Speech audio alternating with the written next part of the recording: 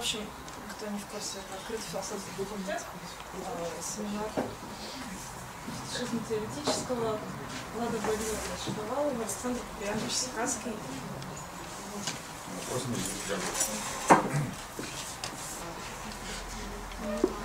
Да, нужен микрофон, да, или так будет слышно? Давайте лучше с микрофоном. Микрофон? А он работает? Он работает? Микрофон работает? Я его просто, наверное, Да. А может быть без него будет? Ну, можно попробовать. Да. Так?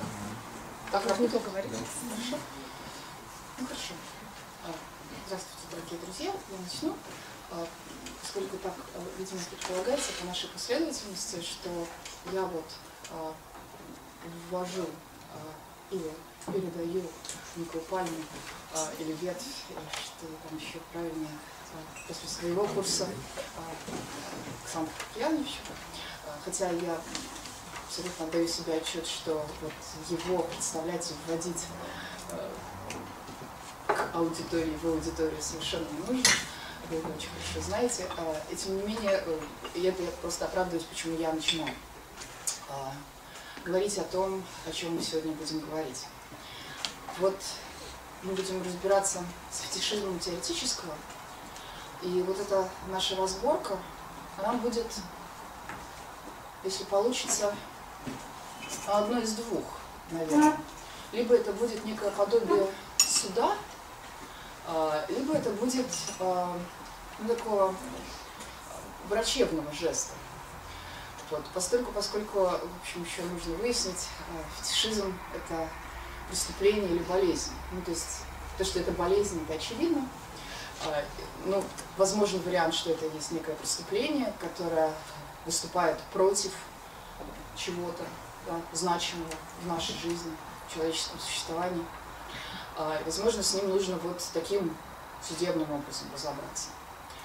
А может быть, просто обнаружив, поставить диагноз, а, предположить возможную профилактику или даже способ излечения. И вот я, начиная наш разговор, сразу же хочу сказать, что я, конечно, больной. В этом смысле, э, то есть я абсолютно думаю, фетишист теоретического, но с рефлексией. Поэтому я готова лечиться даже при аудитории. А, И я думаю, что мы начнем э, с вот некоторого такого как бы, прояснения мотива да, своего, а, мотива того, что мы принимаем участие в, в этой разборке. Я уже начала это прояснять, потом я передам микрофон Александру Куприяновичу. А, То есть, во-первых, да, я чувствую себя зараженной этим, если угодно, вирусом или этой болезнью теоретического. А, И несмотря на то, что я с рефлексией, я готова, а, то есть я ловлю себя и на стихийном сопротивлении всякой критики фетишизма, и а, готова даже сопротивляться на уровне рациональном. А, Вот я просто два слова по этому поводу скажу. Э, Например, в ситуациях, когда я с очевидностью вижу, и я об этом говорила на своем курсе, что а, обламываются всякие возможные объяснения, то есть теоретический жест, мне этих объяснений не хочется, они меня не устраивают, они демонстрируют свою принципиальную неполноту.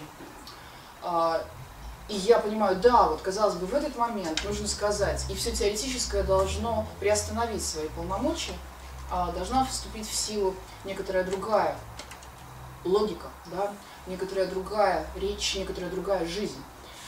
И тем не менее, я говорю, так нет, может быть, вот то, что должно быть приостановлено, это просто некое узкое понимание теоретического, я должна просто посмотреть более широким образом на а, объяснение вообще, да, на научность вообще, и увидеть в ней что-то более широкое и правильное. Да. Ну да, меня не устраивает, если так пафосно решать. А, Меня, скажем, не устраивает э, к вопросу о том, например, что случилось с лодкой Курск, да, а, различного рода физические объяснения. Хотя вы понимаете, да, что они вполне возможны.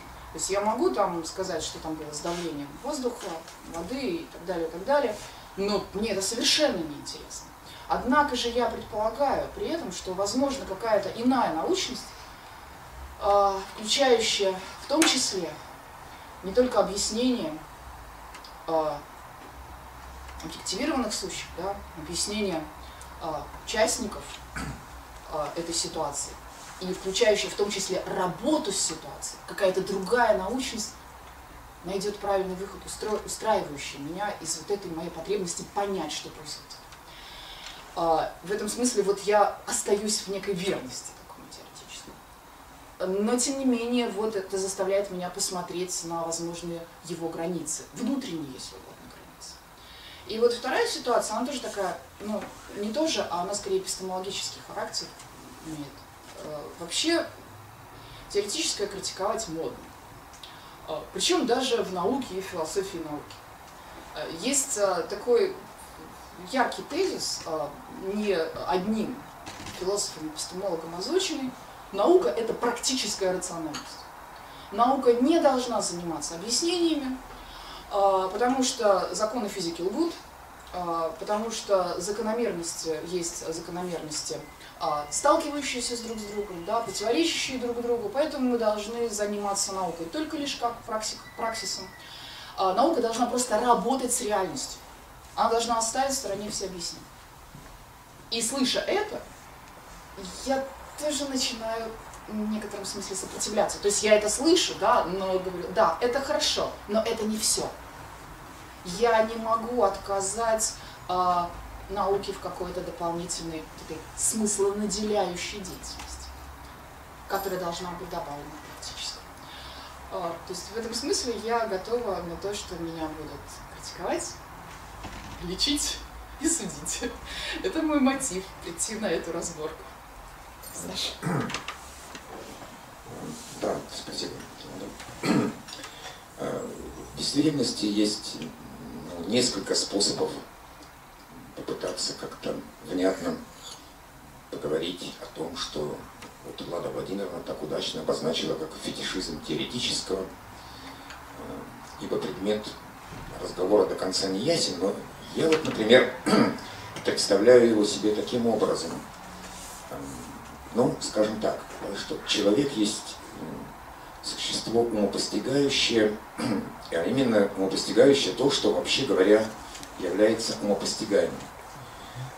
Это означает, что достоинства, приписываемые человеку, преимущественно относятся к его разуму и его способности мыслить сущее, скажем, истинно мыслить сущее, а, скажем, опять же, к трансцендентальному субъекту, который представляет собой некоторое познающее устройство, а, странным образом прикрепленное к нашему телу. И корень проблемы отчасти, не полностью, но отчасти лежит в том, что э, так или иначе, ну, мы, как, например, как специалисты по словам, даже здесь не суть важно, философы мы или нет, мы некие жрецы Логоса, мы вслед за всеми другими жрецами Логоса предполагаем, что именно познавать мир, его истину, это и есть самое достойное истинно человеческое занятие. Что мы, ну, скажем, подобно неким таким считывающим устройствам перемещаемся по разным измерениям, полянам этого мира и познаем то, что познается, то, что подлежит познанию.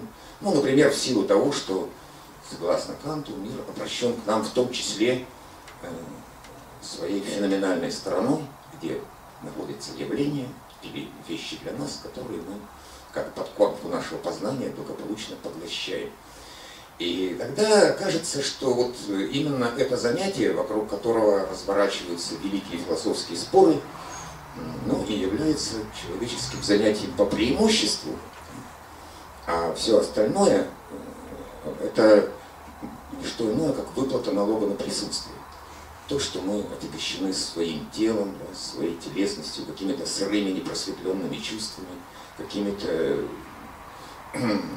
разными гравитациями, вот это, стало быть, э, волей-неволей следы нашего несовершенства, а при этом мы знаем, что э, все разумное в мире действительно и наоборот, все действительно разумно. Э, мы да, охотно верим, что мы можем мыслить сущее, не сдвигая его со своих мест. И это и есть самое достойное удивление и, быть может, самое важное, что мы себе приписываем, а также и другим, то есть некое исходно-теоретическое, умопостигаемое. И тогда, если исследовать этой логики, может оказаться, что, собственно говоря, эм, что идеальное познавательное устройство – это ну, мыслитель, философ, обладающий, собственно говоря, нулевым самочувствием. Некий человек, который на вопрос «как ты себя чувствуешь?» отвечает «никак, я себя только мыслю». И это нулевое самочувствие, где э, представленность тела близка к нулю, и должна тогда рассматриваться как наша близость э, к истокам творения, к самому Творцу, к, ваш, к тому важнейшему, что есть в этом мире. И вот в какой-то момент, э, ну, собственно, понятно, что это основополагающий тезис немецкой классической философии, но не все, даже внутри европейской метафизики существует своеобразное отступление, когда вдруг мы понимаем, что э, чистая дискурсивность и умопостигаемость не просто ну, не являются чем-то самым достойным. Они, вообще говоря, мы, мы отводим этому такое место в наших речах, потому что об этом есть что сказать. Потому что мы, как специалисты по словам и жрецы Логоса, на это заточены и этому обучены. А вот э, какие-то соседние регионы присутствия, ну, скажем, не нулевое самочувствие. Да? Ну, например, э, например, э, опыт веры, но опыт веры это даже достаточно сильно сказано. Ведь понятно, что опыт веры не сводим к чистой умопостигаемости и не сводим к дискурсу о вере, что, в общем-то, вся теология мира вместе взятая не заменит его и, вообще говоря, может присутствовать при полном отсутствии реального опыта веры. И наоборот, легко представляем себе какую-нибудь воцерковленную бабушку, которая ставит свечку, ничего об этом не может сказать, но она знает, что это надо, и стало быть, она некоторым человеческим образом поступает. Но это ладно. Я-то хотел бы высказать, может быть, более такой радикальный тезис, в соответствии с которым мы участвуем в целой совокупности семиозисов, и каждый из них по-своему не менее значим и не менее радикально делает нас людьми, чем семиозис познания в целом. Например, даже такие фигуры ресентимента, как э, ревность, зависть, обида, вина, э, то есть то, что не является, вообще говоря, познанием, но тем не менее э, уметь ревновать по-человечески, то есть располагать этим опытом, в значительной мере даже это да, определяет способность быть человеком. И никакие другие существа, ни ангелы, ни бессловесные животные, мы предполагаем, на это не способны. А, то есть я хочу сказать, что сама эта группа семиозисов, где наша телесность инвестирована гораздо более очевидным образом, и где мы уже не можем рассчитывать на нулевое самочувствие, там вся полнота контактного проживания, да, вся, все наши э, рефлекторные способности и внутренний гормональный дождь, и вся степень телесной отягощенности предполагает, что э, в этом океане обиды, ревности, вины, обещания э, и многих других вещей, мы в такой же мере, если не в большей, являемся людьми, как и в том, что мы познаем в целом. Более того, в какой-то момент мы, может быть, можем даже и заподозрить, что Э, собственно говоря, познание или продвижение по умопостигаемой поверхности мира есть некая такая подозрительная деятельность, которая, быть может, вообще может быть ну, как бы сброшена на, э, ну, лишена персональности, может быть сброшена на автопилот, доверена искусственному интеллекту, чему-то подобному. Но, во всяком случае, совершенно точно мы вправе рассмотреть тезис Лейбница о том, что всякая монада обладает, строго говоря, всей полнотой знания о мире. Но только это знание смутное и неотчетливое. А наше знание, оно является ясным и отчетливым, и в этом вся разница. Но мало того, что оно является ясным и отчетливым, да, мало того, что это именно некое знание познающее, то есть это наше знание, которое мы отличаемся друг от друга которые мы готовы друг другу передавать при случае, которые мы можем инвестировать в иные семиозисы, в том числе использовать как форму соблазнения, как некую эм, житейскую ставку и так далее. А не только с точки зрения самовозрастающего логоса, то есть не только с точки зрения чистой умопостигаемости, да, которая сама за себя может постоять и может э, сама за себя высказаться. Иными словами, опять же, мы можем предположить, что э, каждую, каждое мгновение сущее само себя познает посредством того, что оно само себя удваивает. Такая интерпретация вполне возможна, она тоже осуществляется, в частности, иерархия, честно.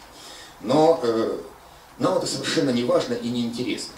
Нам не важно, длит ли э, сущее свое существование посредством маниакальных повторений, колебаний суперструн или каким-то иным образом, или же это некоторое э, своеобразное доперсональное познание. Нам интересны мы познающие. Нам интересны мы, э, которые обладают теми или иными знаниями в соответствии со своим выбором, лишь косвенно имея отношение к общей умопостигаемости мира. А обращаясь к инфраструктурам науки, мы понимаем, что это, например, там, знаю, борьба за приоритет, что это может быть э, ну, некий фактор, способствующий инвестированию логоса в другие окружающие семиозисы, в Эрос или в Бахус, да, э, повод для речи дружеской компании и так далее. То есть существует множество вещей, где мы, э, где наше обособленное персонализированное знание не имеет прямого отношения к умопостигаемости мира и, следовательно, не является теоретическим. Это некоторое несобственное его использование, хотя с точки зрения нашего человеческого бытия, быть может, именно оно и есть максимально собственным и максимально близким нам. И тогда в этом смысле оказывается, что, что наша телесная отягощенность, наша воплощенность в теле а, не только явля, является неким результатом несовершенства и печальных ограничений, которые мы должны были бы преодолеть, по идее, но как раз именно это является а, решающим основанием субъектности, решающим основанием того, что познание есть познание познающий, а не, а не простая, условно допускаемая трансляция мира. И и именно это знание познающих, привязанное ко времени, к спорам, э, к возможным обсуждениям и к речам, и выглядит, э, предстает в качестве вот того э, чрезвычайно важного, что позволяет нам наши ограничения и вот нашу воплощенность рассматривать как своеобразную форму радости, ну, нашей удивительной участи и того, что, как героиня одного французского фильма говорит своему возлюбленному, какое счастье, что у людей есть тела. И это действительно счастье, хотя, быть может, это и препятствует всепроницаемости нашего познания, но такого рода дистрибуция по телам и по персональностям делает мир таким, каким он есть, чрезвычайно азартным, интересным.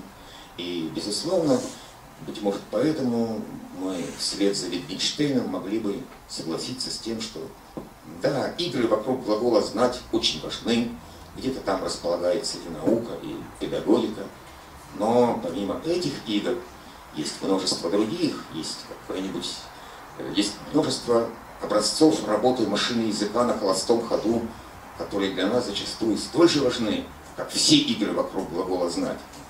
Простое остроумие, возможность поддержать другого, для чего мы тоже используем слова. И в конце концов все эти э, свернутые сейчас пространства игр, типа там шумелки, кричалки, сопелки, пыхтелки, которые в действительности могут быть развернуты в целые миры. И э, вот именно эта многомерность семиозисов, то есть способов экспликации и манифестации человеческого в человеке, составляет то удивительное единство, которое мы называем субъектом. А при этом трансцендентальный субъект остается лишь одной из насадок, ну, как бы из неких таких машин, да, которые мы, безусловно, пользуемся, э, но уж больно преувеличиваем и фетишизируем его роль. Роль этой нашей универсальной насадки.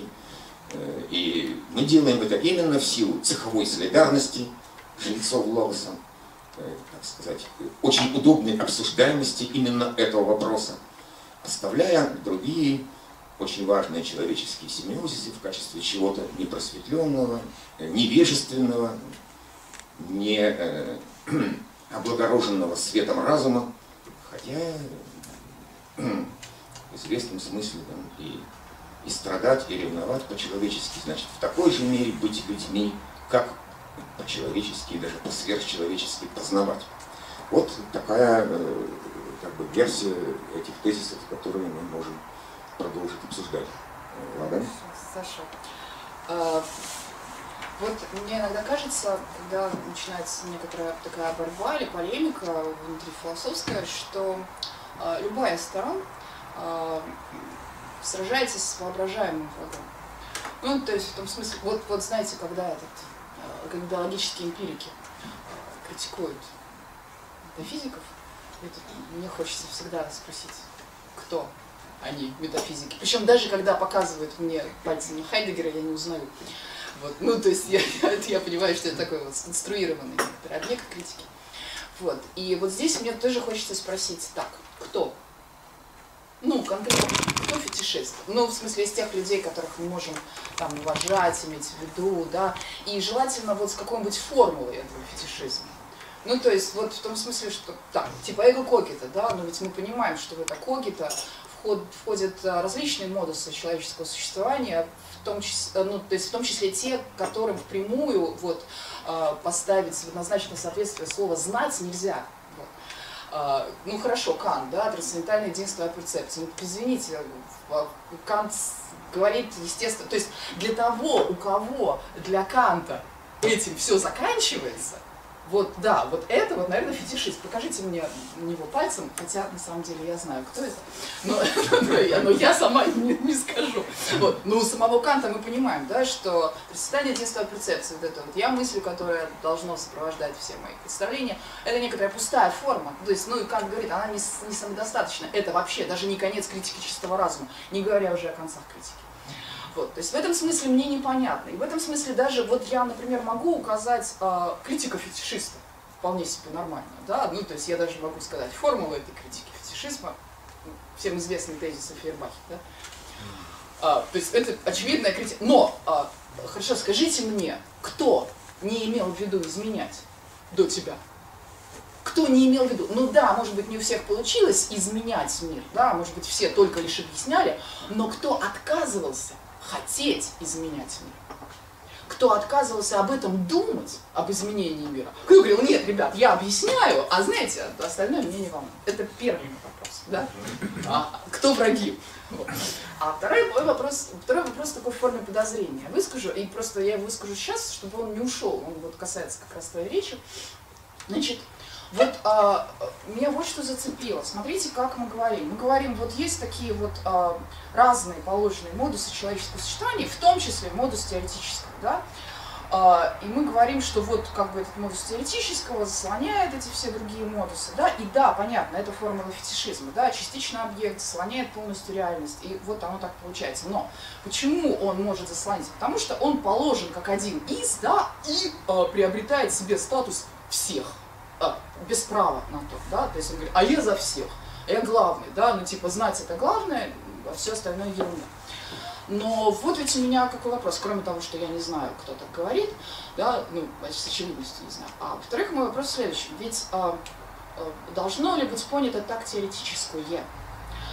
А, не есть ли такое понимание теоретического как отдельного от праксисов тела, нравственного жеста, там, коммуникации, а, вот так понятое теоретическое, это уже извращенное теоретическое, которого, вообще говоря, а, не должно быть, потому что теоретическое – это есть наделение смыслом всякого праксиса. И в этом смысле не является ли вот этот бунт праксисов против теоретического как раз тем, что делает теоретическое отдельной сферой, вот этим конем в вакууме, и э, фетишизирует его. То есть не являются ли сами эти практики тем, что фетишизирует теоретическое. Потому что, э, если отнестись к этому по-мягкому, со стороны такого фетишиста, как я, то, э, повторяю, теоретическое не существует в качестве отдельного жеста и не мыслит себя таковым. Теоретическое – это наделение смыслом любого жеста. А, то есть это само смысл наделения. И в этом смысле мой результирующий вопрос. Расскажи мне, пожалуйста, а какая бы тебя ревность больше устроила? Вот простая такая чистая ревность или ревность, сопровожденная метафизическим обоснованием?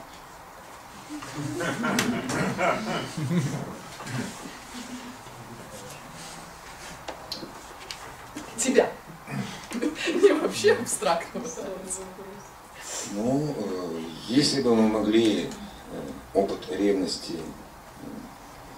как бы, если бы могли бы мы управлять им, то, наверное, это уже и не было бы ревностью, поэтому я смутно подозреваю, что, э, что вот как бы пойманная в ловушке логоса ревность перестает быть самой собой, становится, например, материалом для рассказа, предметом для гордости, ну и неким таким э, формой э, бытия и передачи для другого.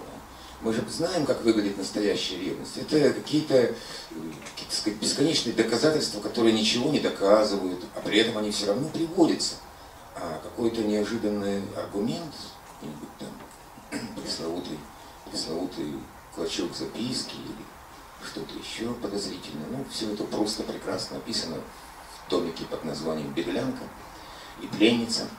А, да, вот все это, все эти прокручивания вроде бы познавательных машин на холостом ходу показывают нам, что это не избыть, это какой-то такой вот, вот страдание души, и пока он остается каким-нибудь самодостаточным, он остается вот, семиозисом, который подобают людям, ну, по крайней мере, субъектам в классическом смысле, которые все еще обладают внутренним миром. А вот э, что касается э, фетишизма, то ведь здесь, ну, возьмем самый первый тезис Сократа, и все вокруг, вокруг него вращается. Там добродетель есть знание, и мужество есть знание, и вообще справедливость тоже есть некое знание. Сколько усилий потрачено Сократом и Платоном, чтобы доказать, что это именно так. Но э, тут все равно,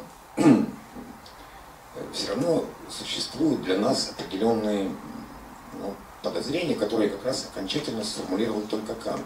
Безусловно, предметом или объектом познания может быть все, что угодно. Все, что угодно может стать э, материалом для нашего познания, поэтому и э, свет далекой звезды, и э, как бы непримиримый факт существования другого в равной мере могут нами познаваться, и о мужестве мы можем сказать что-то существенное, и даже о гвозде. Но дело в том, что все-таки забиваем в стенку мы гвоздь, а не знание о гвозде. И, э, так сказать, любим мы любовью, а не психоаналитической ее интерпретацией. То есть не тем знанием, которое, безусловно, может быть извлечено, да и жизнью живем как жизнью, а не тем, что мы можем о ней сказать. Здесь, конечно, возникает великий соблазн, эм, которого избежали многие, да, включая и Лакана, э, сказать, что и тем не менее, да, только то, что нами э, э, исследовано, то, что мы каким-то образом пытаемся познать, вот только оно и является собственно человеческим.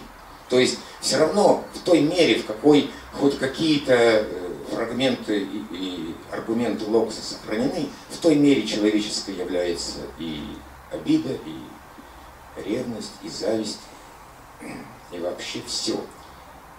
Но, э, но именно меня-то все-таки очень интересует как раз вот этот момент э, выхода за пределы круга явлений, который как раз наиболее честно представлен у Канта, поскольку Кант говорит нам, что да, что бы мы ни пытались познать, каким-то образом можем познать, приведя э, эти э, ноумены к феноменальному состоянию, то есть э, опять-таки скомпоновал их на удобной умопостигаемой поверхности. И поэтому так, таким познанием могут быть и наши собственные психологические способности, и даже я сам могу быть неким объектом познания другого или самого себя. Но я сам как объект познания и я сам как субъект обещания – это совершенно разные способы данности. Сколько бы я себя не познавал, я все равно буду познавать себя наряду с другими явлениями, полагает Кант. Здесь у нас нет способа вырваться из этой имманентности.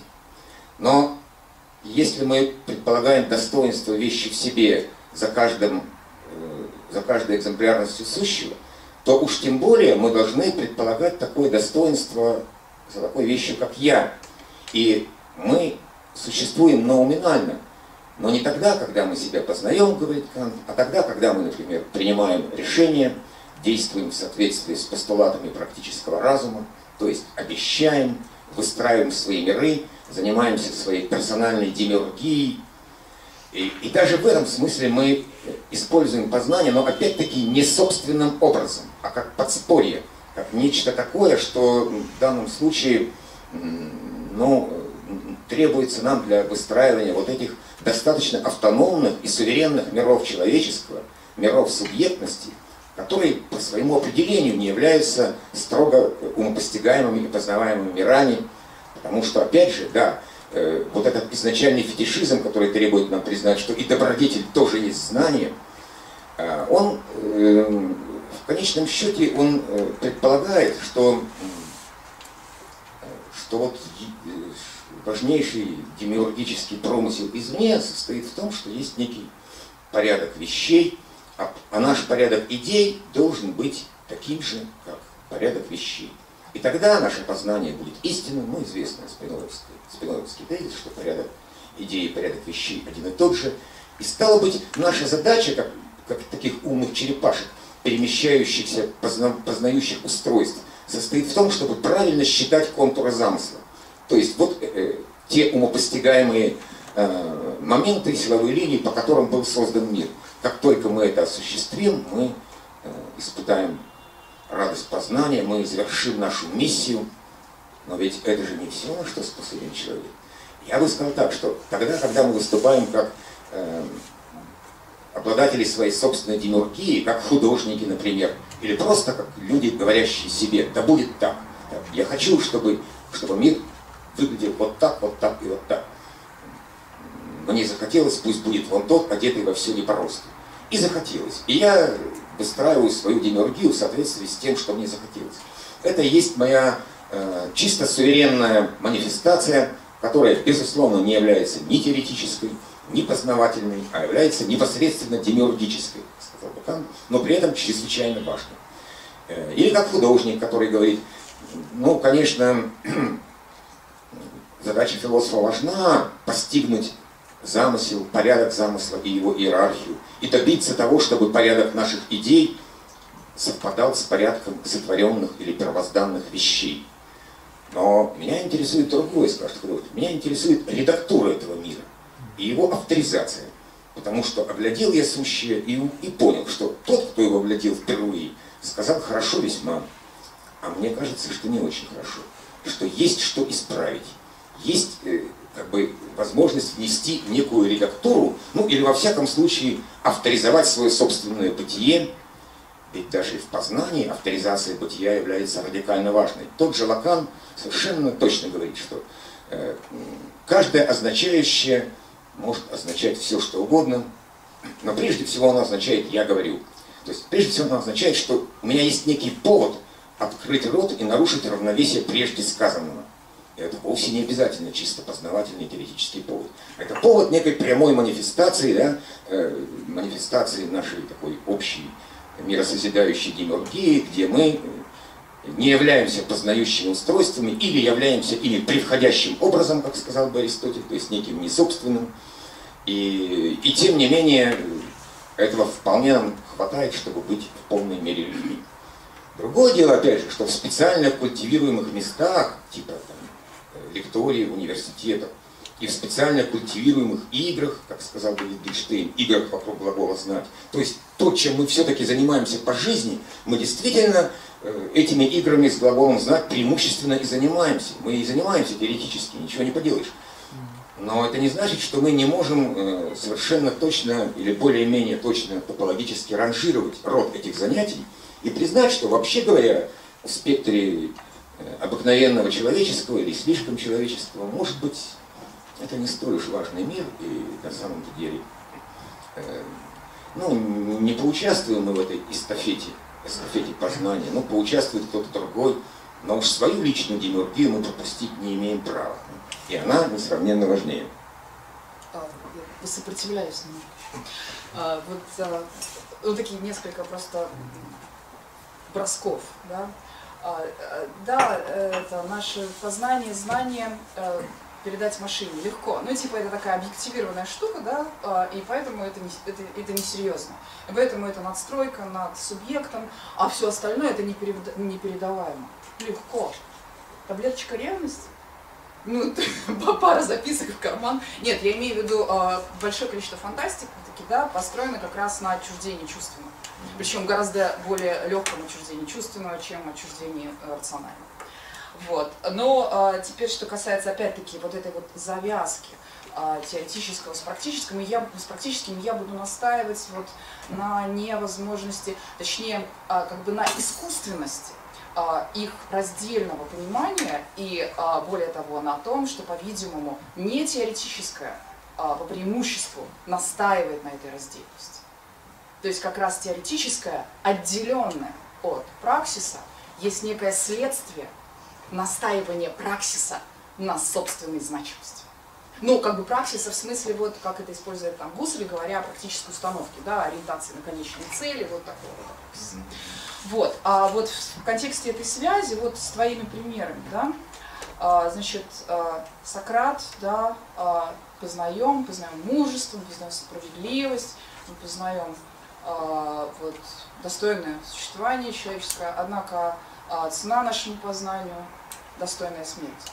И в этом смысле это достойная, то есть не цена нашему познанию, да, а удостоверение нашего познания, достойная смерть. Причем а, она отдельно от нашей мудрости ни в коей мере. Я вас этому учил, да, вот я учил, что вы здесь плачете, да, я вас учил тому, чтобы достойно умирать. То есть и в этом смысле это демонстрация моей мудрости.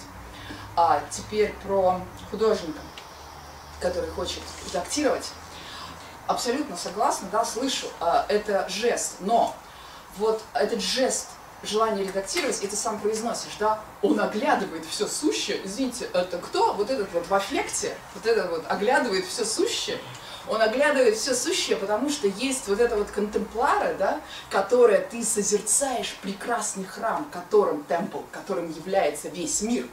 И только созерцая этот прекрасный храм, прикасаясь к нему в радости созерцания, ты можешь, увидев это все сущее, захотеть его редактировать.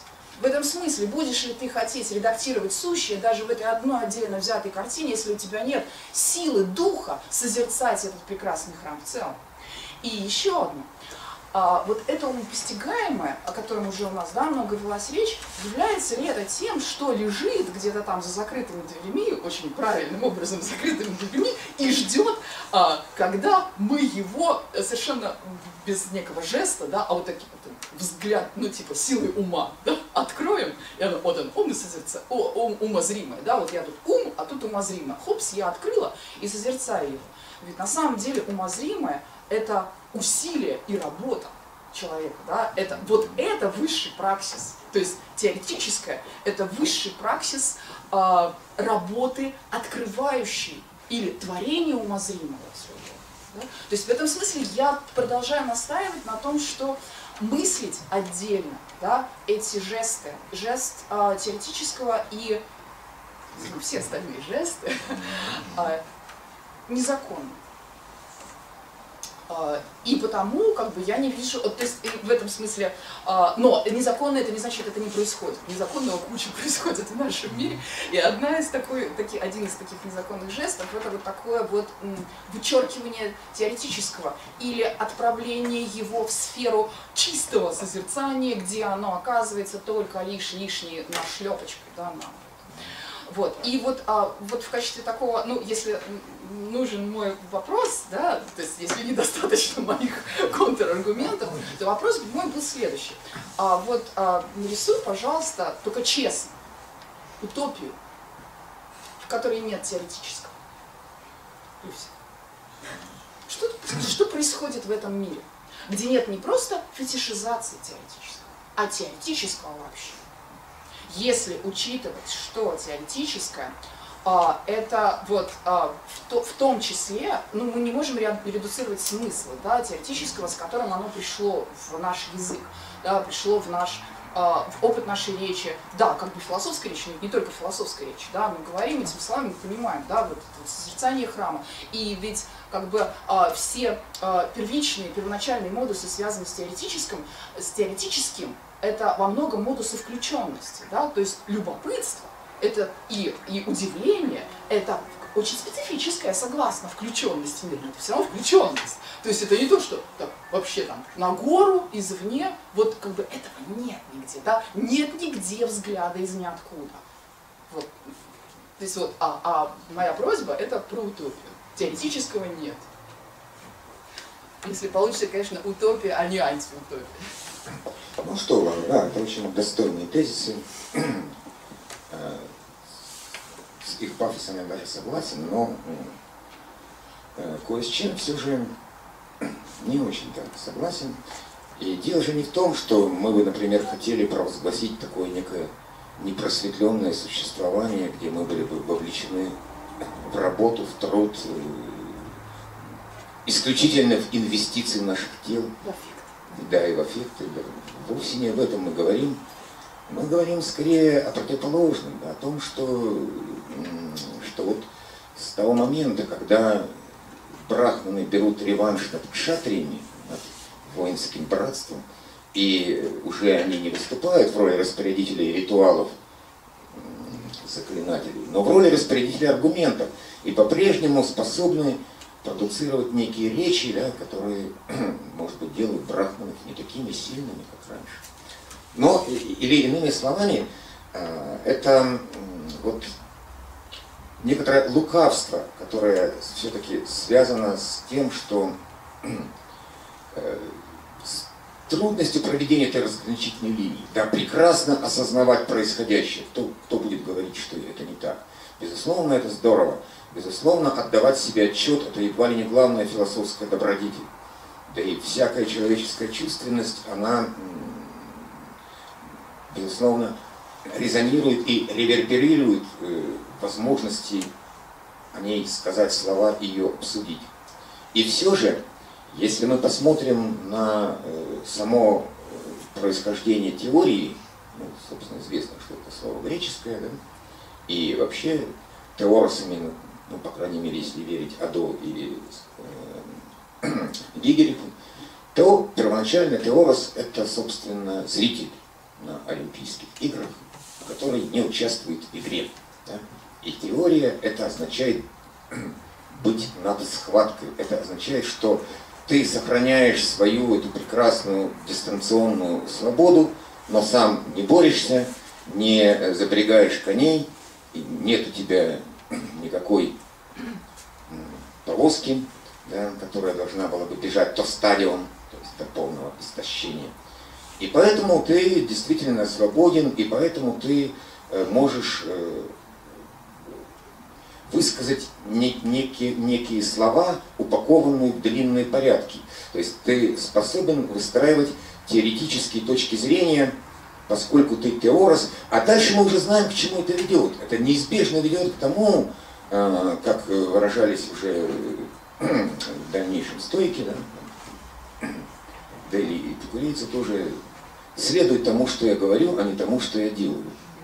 То есть э, возникает легкая способность искушения э, продуцирования различных умных речей, ну, умных там в кавычках, которые могут быть э, использованы для того, чтобы руководствовать ими других, но не обязательно руководствоваться этим самому, потому что там, свободный теорос, он не участвует в игре, и поэтому, поэтому его, эм, у него и есть отдельное теоретическое, которое и в самом деле чисто дискурсивно. И развитие европейской метафизики, оно в этом смысле э, потому-то и оказалось таким быстрым, что меняемые точки зрения не инвестированы в телесность. Они легко отделимы от нашей жизни. Их можно через запятую так, вот сегодня я придумал такое учение, а завтра я придумаю другое учение, просто потому что мне в голову пришла новая мысль, и ничего, что она не имеет никакого отношения к моей жизни. И не надо. Но, э, но она, оно, оно представляет собой некую точку зрения, да, нечто теоретическое, все теоретическое может быть высказано. Это нам сразу напоминает знаменитый тезис э, Станислава Ежелеца, который говорил, что преимущество плоских мыслей состоит в том, что их много помещается в голове. И в данном случае преимущество теории состоит в том, что их тоже очень много помещается, и они такие все разные.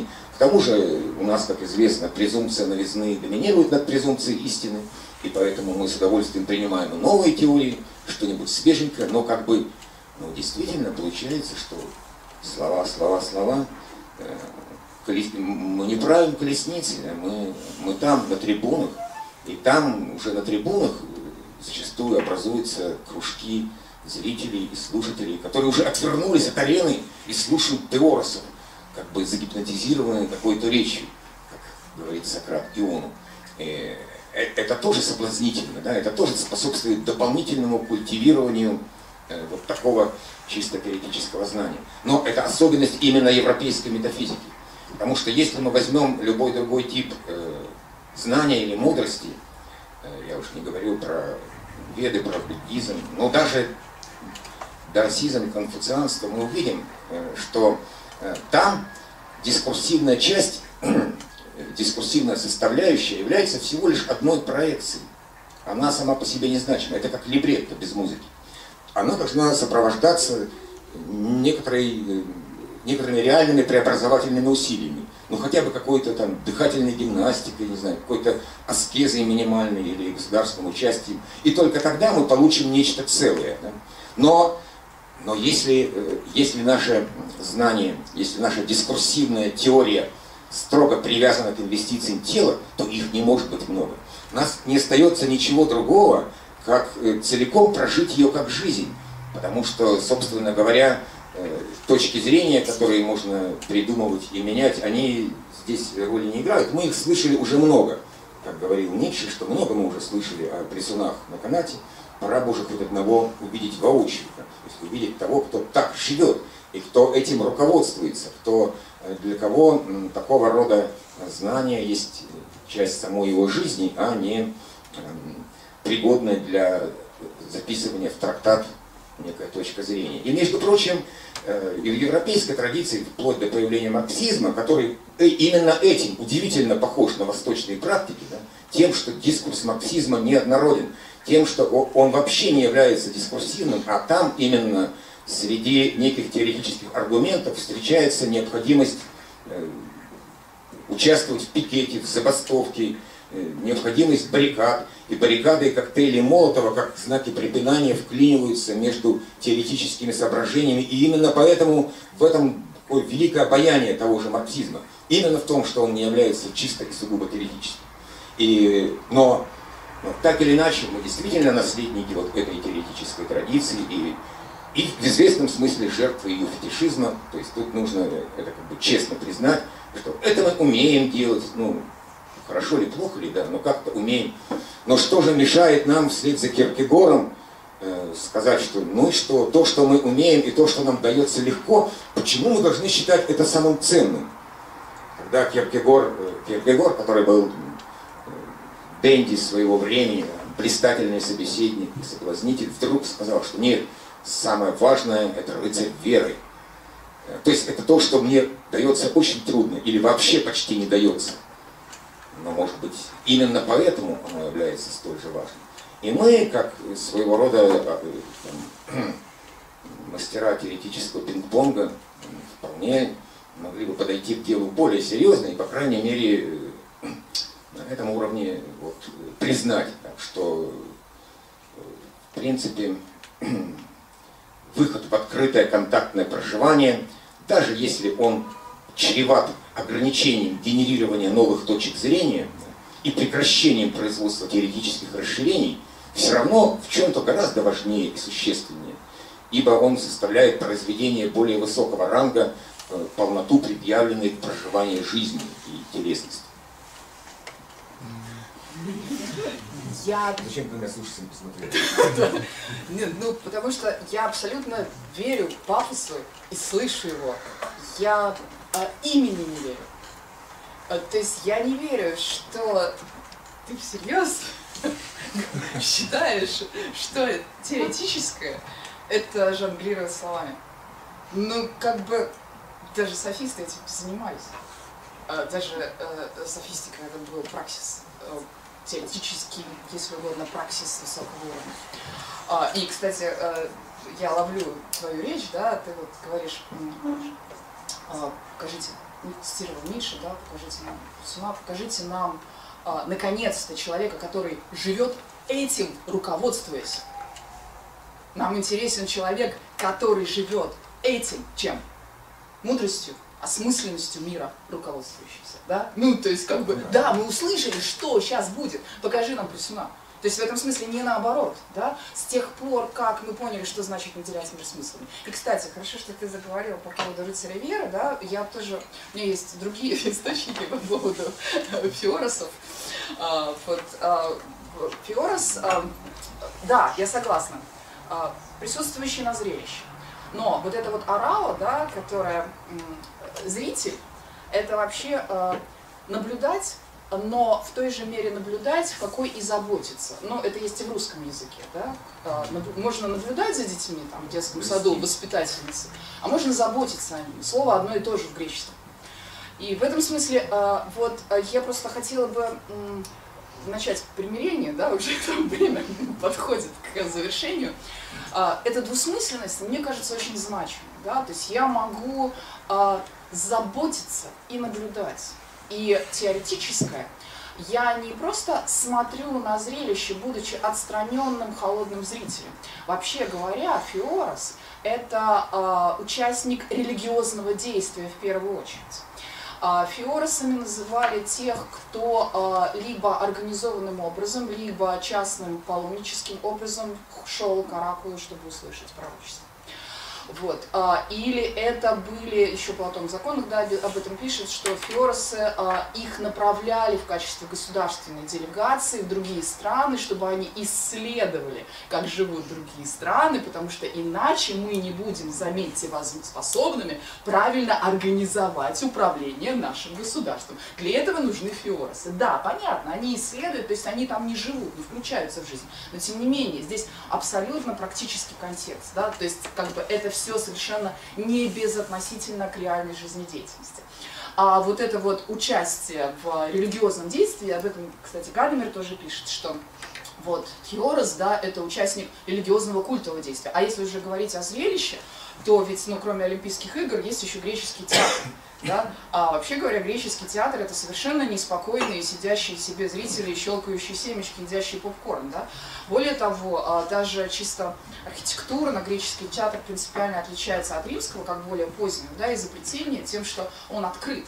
Ну, то есть э, в римском театре возникает стена, да, сзади сцены, а греческий театр, он э, вот этот вот полукруг э, амфитеатра, да, и маленький, вот, ну, понятно, что это вообще не сцена, сцена это палатка, палатка, где там артисты переодеваются, там, где выступают несколько актеров, и дальше что? Перед, перед зрителями что? Мир.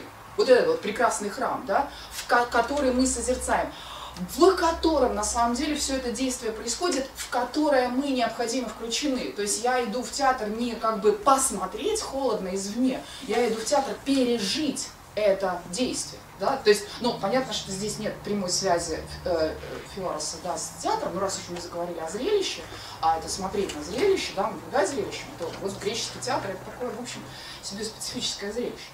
То есть вот здесь я бы просто э, опять же настаивая да, на э, постоянной сцепке, необходимой сцепке теоретического э, жеста и всякого рода праксиса, и э, для нас, которые уже а, пережили возникновение теоретического, да, возникновение вот этого жеста наделения, а, наделения смыслами мира, да, или обнаружения мира в качестве а, содержащего в себе смысл, для нас теперь практически невозможно редуцировать этот жест. И, кстати, если уж мы говорим о том, что этот фетишизм возникает, но ведь если мы докатились до фетишизма теоретического, ведь надо, по крайней мере, признать, что он это, теоретическое это не просто какая-нибудь ерунда и штучка, да, то есть, ну, ну, посмотрите, там, э, тысяч, столетия, да, тысячелетия, мы вот тут пребываем в этой любви или фетишизме, как угодно, значит, наверное, это все не случайно, значит, наверное, все это имеет право на существование, вот, другое дело, что, возможно, всякого рода извращения,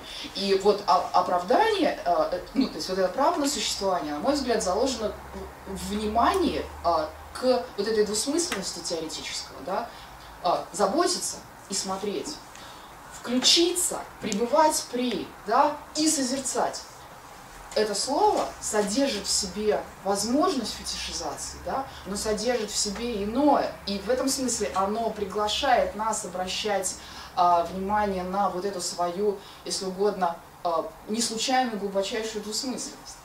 А, и то есть в этом смысле я признаю отчасти, да, и становлюсь на позицию рефлексии по отношению к своей болезни, да, там есть элемент отстранения, смотрю на, да, зритель. Но это а, вторичный элемент, да, и как бы это он присутствует, да, но он а, почему-то и в силу каких-то обстоятельств становится явным, да, и повторяю, а, в этих обстоятельствах, где а, скажем, плохая сторона теоретического становится явной, мы уклоняемся в фетишизм, принимают участие все стороны нашей субъективности. Ну, то есть, как бы все модусы нашего существования. В том числе вот эта вот наша вот э, чувственность, настаивающая на том, что она не хочет, ну, как бы, допустим, да, быть осмысленной, а хочет быть в своем праве. Вот. Это я мириться начинаю. Да, хорошо. Надо тоже сделать шаг навстречу. Вот завитки Ловеса, это ведь в самом деле справедливо. То есть, ну да, если мы даже, например, критикуем э, отстраненное, умозрительное, теоретическое, то завитки Логоса, они ведь правду прекрасны вообще, как цветы зла, или просто неизвестно откуда взявшись, э, как конь вакуум. Конь вакуум. Табун лошадей в вакууме – это бесконечно прекрасная вещь которая как раз теоретически достижима и замечательна. Э, и может быть и вправду вот эта удивительная способность э, ну, не, не застревать, э, которая является исходной такой, даже, наверное, исходным номадическим драйвом, она здесь ближайшим образом связана с идеей теоретического скольжения. Ну, и в самом деле не, не влезать же во все разборки, да, во все,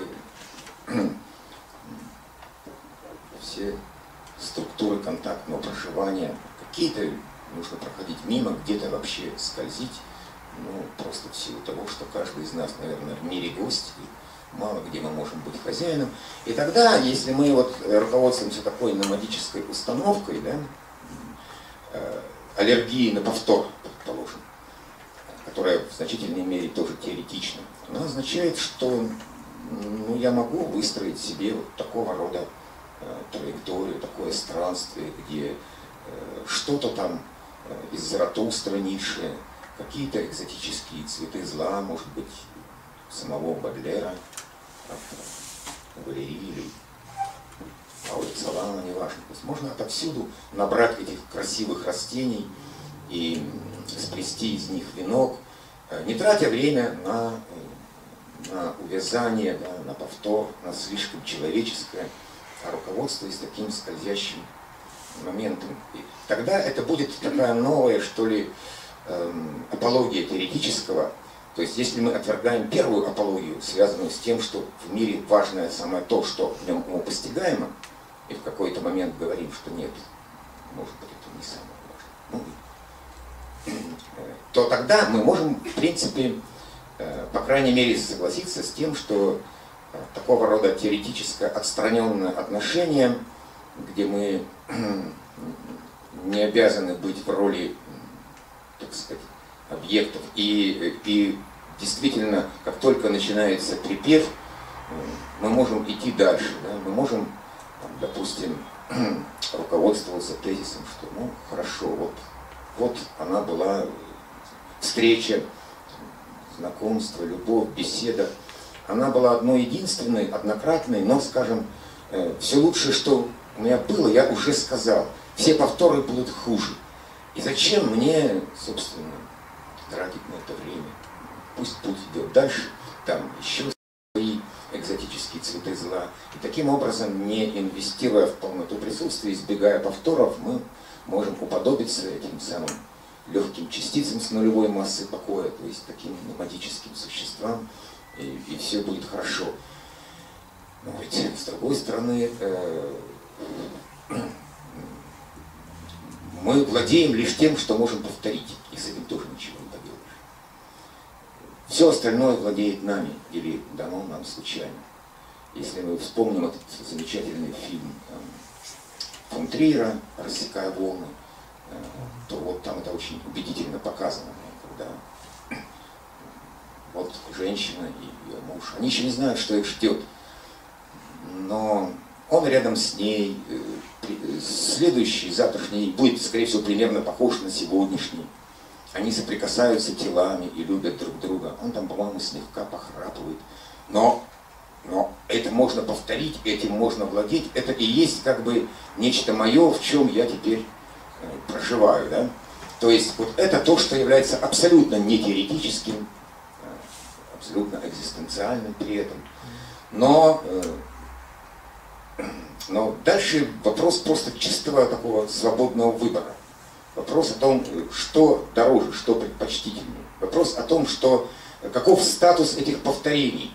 Вроде бы э, намат должен действительно избегать их всеми силами и исследовать за завитками логоса, э, за теоретическими формациями, которые едва-едва акупунктурно соприкасаются с нашей телесностью, а то и вовсе предположительно никак, предположительно на уровне нулевого самочувствия.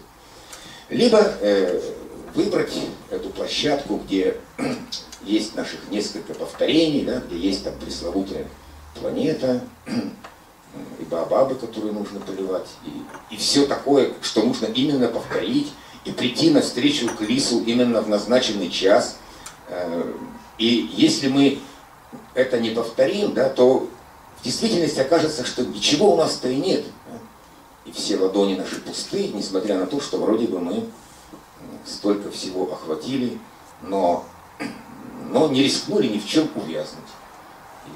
Ничего, собственно, не приобрели, за исключением этого удивительного теоретического соблазна э, сверхпроницаемости сущего э, и распознавания тех цветков логоса, которые еще не встречались. А да, вот это что-то новенькое, вот это да, мне можно вплести в веночек. То есть каким-то таким образом действительно эта дилемма перед нами возникает. А, как странно, я наоборот для себя связывала, вот когда теоретически в плохом смысле, да, вот теоретический жест, ну, переводимый на там, всякие понятия репрезентации с тем, что можно назвать повтором а, вот как раз то, о чем ты говорил, как о жизни, да, как о разворачивании вот этой непосредственности, мне казалось, что как раз здесь есть то, что называется уникальным. И я была бы готова спорить с тем, что только там есть уникальное, что нет, в теоретическом тоже есть уникальное, а оказалось, что все совсем наоборот. А, то есть мне, честно говоря, я потом ты мне еще расскажешь, почему Намат это правильный теоретик. То есть я как раз думала, что Намат это как раз наоборот, совсем наоборот. То есть теоретик это тот, кто обживает, ну вот в таком в смысле фетишиста теоретика, да, теоретик это тот, кто обживает территорию, ну, создает ее э, концепты, да, вот там расставляет, они связываются с друг с другом, территория обживается, э, туда приходят гости, которых хочу, чтобы приходили, которые не хочу, не приходят. Ну, то есть я все знаю, я знаю, какое у меня меню на ужин, то есть вот размеренность существования.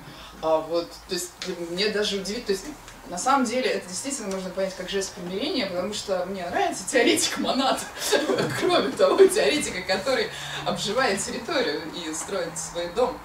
Вот, поэтому тут, конечно, э, я думаю, что, наверное, есть какая-то амонимия, да, но тем не менее она в некотором смысле нас примиряет. А, а вот а, тогда, может быть, не последний, если ты еще захочешь, да, такой жест в, в защиту теоретического. Вот смотрите,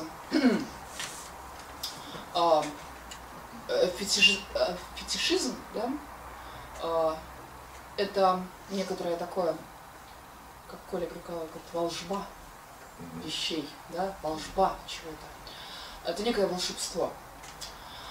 И вот, а, ну, понятно, что критика фетишизма это всегда да, расколдовывание мира, да, а, и есть некоторое опасение, что это расколдовывание приведет к тому, что ты тратишь мир в качестве волшебного, удивительного. А, но вот здесь, смотри, какой классный факт мы обнаруживаем, что критика а, фетишизма теоретического возможно только на теоретическом уровне. Как, впрочем, всякая критика. А, потому что иначе мы бы с тобой не говорили здесь, и сейчас не будем говорить вместе, а пошли бы и... Дыхательная гимнастика. Да, и занялись дыхательной гимнастикой. Вот. То есть, а, а мы пришли об этом говорить, да, и в этом смысле вот теоретическая, это такая крутая штука, которая даже критикуя собственный фетишизм, а, где предполагает и предлагает на самом деле некое более, гораздо более крутое волшебство. Да, да, потому что оно допускает, что потом меня опять новый критик обвинит в фетишизме, да, то есть в новом, более глубоком, более удивительном волшебстве, да, я на это иду, да, то есть теоретическое это то, что, как оказалось, да, как оказывается, всегда работает с волшебным, да, преодолевая его и делая мир еще более волшебным, предлагая еще больше волшебства. Отлично. Может, может быть... Э, да, а, тогда мы готовы да, говорить вместе с вами. Микрофон передавать или мы будем так? Да, давайте так. Да, давайте так. А, может думаю, быть, э, ну я тут хотел одно краткое замечание относительно того, что основной мотив художника, мне кажется, скорее э, не изменить э, окружающий мир, когда э, человек зафиксировал вот это вот состояние созерцания окружающего великолепия, а как раз таки бесконечно продлить э, это ощущение великолепия. Но поскольку в реальном мире это невозможно, соответственно, надо дублицировать его, передать э, в какую-то другую форму, перенести, потом уже в, друг, в другом месте созерцать свою картину, которую ты написал, ну или чтобы это ни было другое. Э, основной все-таки мотив, наверное, в этом. Я э, хотел, наверное, сделать еще один э, шаг к э, сближению этих позиций, рассмотрев их ну, в несколько другом контексте в плане генетической зависимости. Все-таки это не абсолютно независимые итоги эволюции каких-то там совершенно разных биологических веществ, существ, а это разные стадии эволюции одного и того же существа. То есть каждый философ из вас Э, когда-то был ребенком, э, чье бытие ограничивалось абсолютной телесностью и, э, собственно, заключалось в том, что переживание вот чистых ощущений. Соответственно, вот это вот без всякой рефлексии, естественно, и даже без каких бы то ни было экзистенциальных переживаний, потому что не было еще ни субстрата, ни соответствующего навыка этих переживаний. Точно так же, как же философ, каждый из вас, был потом подростком, Э, чье бытие состояло, кроме телесных переживаний, еще и некоторое верхнее напластование вот этой самой экзистенции, становящейся э, любовь, ревность там, э, и все остальные переживания, но это не отменяло ту телесность, оно уменьшало ее объем в субъективном переживании, но над ним надстраивалось еще какой-то пласт – Соответственно, следующий умопостигаемый уровень над этой телесностью может нарасти что-то, что мы можем э, назвать умопостигаемым уровнем, но не у всех. Соответственно, кто-то идет в эту сторону, а кто-то нет, кто-то остается на этой позиции. И мы видим, что вот эти две позиции, они, в общем-то, э, напрямую генетически взаимосвязаны, но вопрос, мне кажется, более интересно рассмотреть а каковы возможные переходы из одной позиции в другую. Здесь мы как раз больше увидим, э, в чем же, собственно говоря, э, заключаются э, сильные различия между этими позициями. Мне кажется, переходы неравнозначны, потому что если переход от нижний, ну, нижний, вот опять же, когда мы говорим нижний, это не оценочное суждение, а просто более ранний по отношению к следующей. Та позиция, которая заключается в текущем экзистенциальном переживании, кстати, вот Александр Куприянович описал чистого субъекта, э, который занимается умопостигаемой деятельностью, было бы, наверное, целесообразно описать чистого субъекта, который вот, э, чье бытие состоит исключительно в непрерывной э, смене переживаний экзистенциального характера. Любовь, ревность, э, страх э, смерти там, и так далее и тому подобное. И в некотором смысле без разрыва эти переживания перетекают одни в другое, и в эти разрывы не может вклиниться ничто, никакая не рефлексивная своя позиция, ни способность к постижению вот этого самого. А, но мне кажется, вот из этой позиции умопостигаемая позиция достигается медленно и неоднозначно. У нас нет никакого, никакой гарантии, что если вы будете двигаться в ту сторону, вы достигнете какого-то, какого бы то ни было результата. Но если вы туда достигли, то мы увидим, что эта позиция включает в себя в сжатой, измененной, в свернутой форме все предыдущие позиции. Это, кстати, перекликается с темой предыдущей э, дискуссии о том, что насчет убить в себе философа, э, целесообразно ли это и можно ли это и так далее. А, и, да, а, вы сказали убить. Убить, любить. Э, так вот, э, в некотором смысле вот эта верхняя позиция, она э, больше, лучше, хотя бы потому, что она потенциально может включать все предыдущие, ниже лежащие. Правда, в свернутой, сжатой, измененной форме, ну вот это воплощается в известном там меме, что студент-философ выучил все билеты, но на экзамен не пошел, потому что жизнь не имеет смысла, и люди в ней пешки. То есть, вот, конечно, когда мы попадаем в эту позицию умопостижения, мы можем, в принципе, э, идти вниз в какие-то моменты, но вот этот вот момент вербализации, проговаривания и теоретического постижения, он э, уже не позволяет нам полностью переживать то, как мы это переживали в более ранней стадии. Да. Но с другой стороны, мы имеем возможность иметь уже что-то иное, что-то высшее, большее. Вот, кстати, вот по поводу э, этой э, позиции теоретического наблюдателя, э, как, не помню, как э, по-гречески. Э, да, это в некотором смысле э, путь интериоризации деятельности. Сначала ты э, на повозке, на э, коне или там, соответственно, участвуешь в дельфийских э, или олимпийских играх, потом ты сидишь в качестве наблюдателя, но потом ты можешь это все сделать просто мысленно, неужели никуда не идти, и тем самым избегнув там каких-то опасностей, например, смерти, что было достаточно часто в этих состязаниях. Э, и вообще просто там сидя дома, прокрутить мысленно, как это могло бы быть, и это, собственно, и есть вот этот вот путь интериоризации, когда мы сначала взаимодействуем с миром непосредственно на физическом уровне, затем наглядно действенном, затем уже мы можем делать все то же самое, избегнув с одной стороны опасности, с другой стороны делая это очень быстро, с минимальными затратами энергии, и перед нами при этом открывается гораздо больше возможностей. То есть, в принципе, умопостигаемая позиция, она в этом смысле гораздо лучше, потому что она включает в себя все остальные, и еще и гораздо больше. То есть я считаю, что э, альтернатива в некотором смысле ложная, и в любом случае умопостижение э, лучше во всех отношениях, чем все остальное. Спасибо.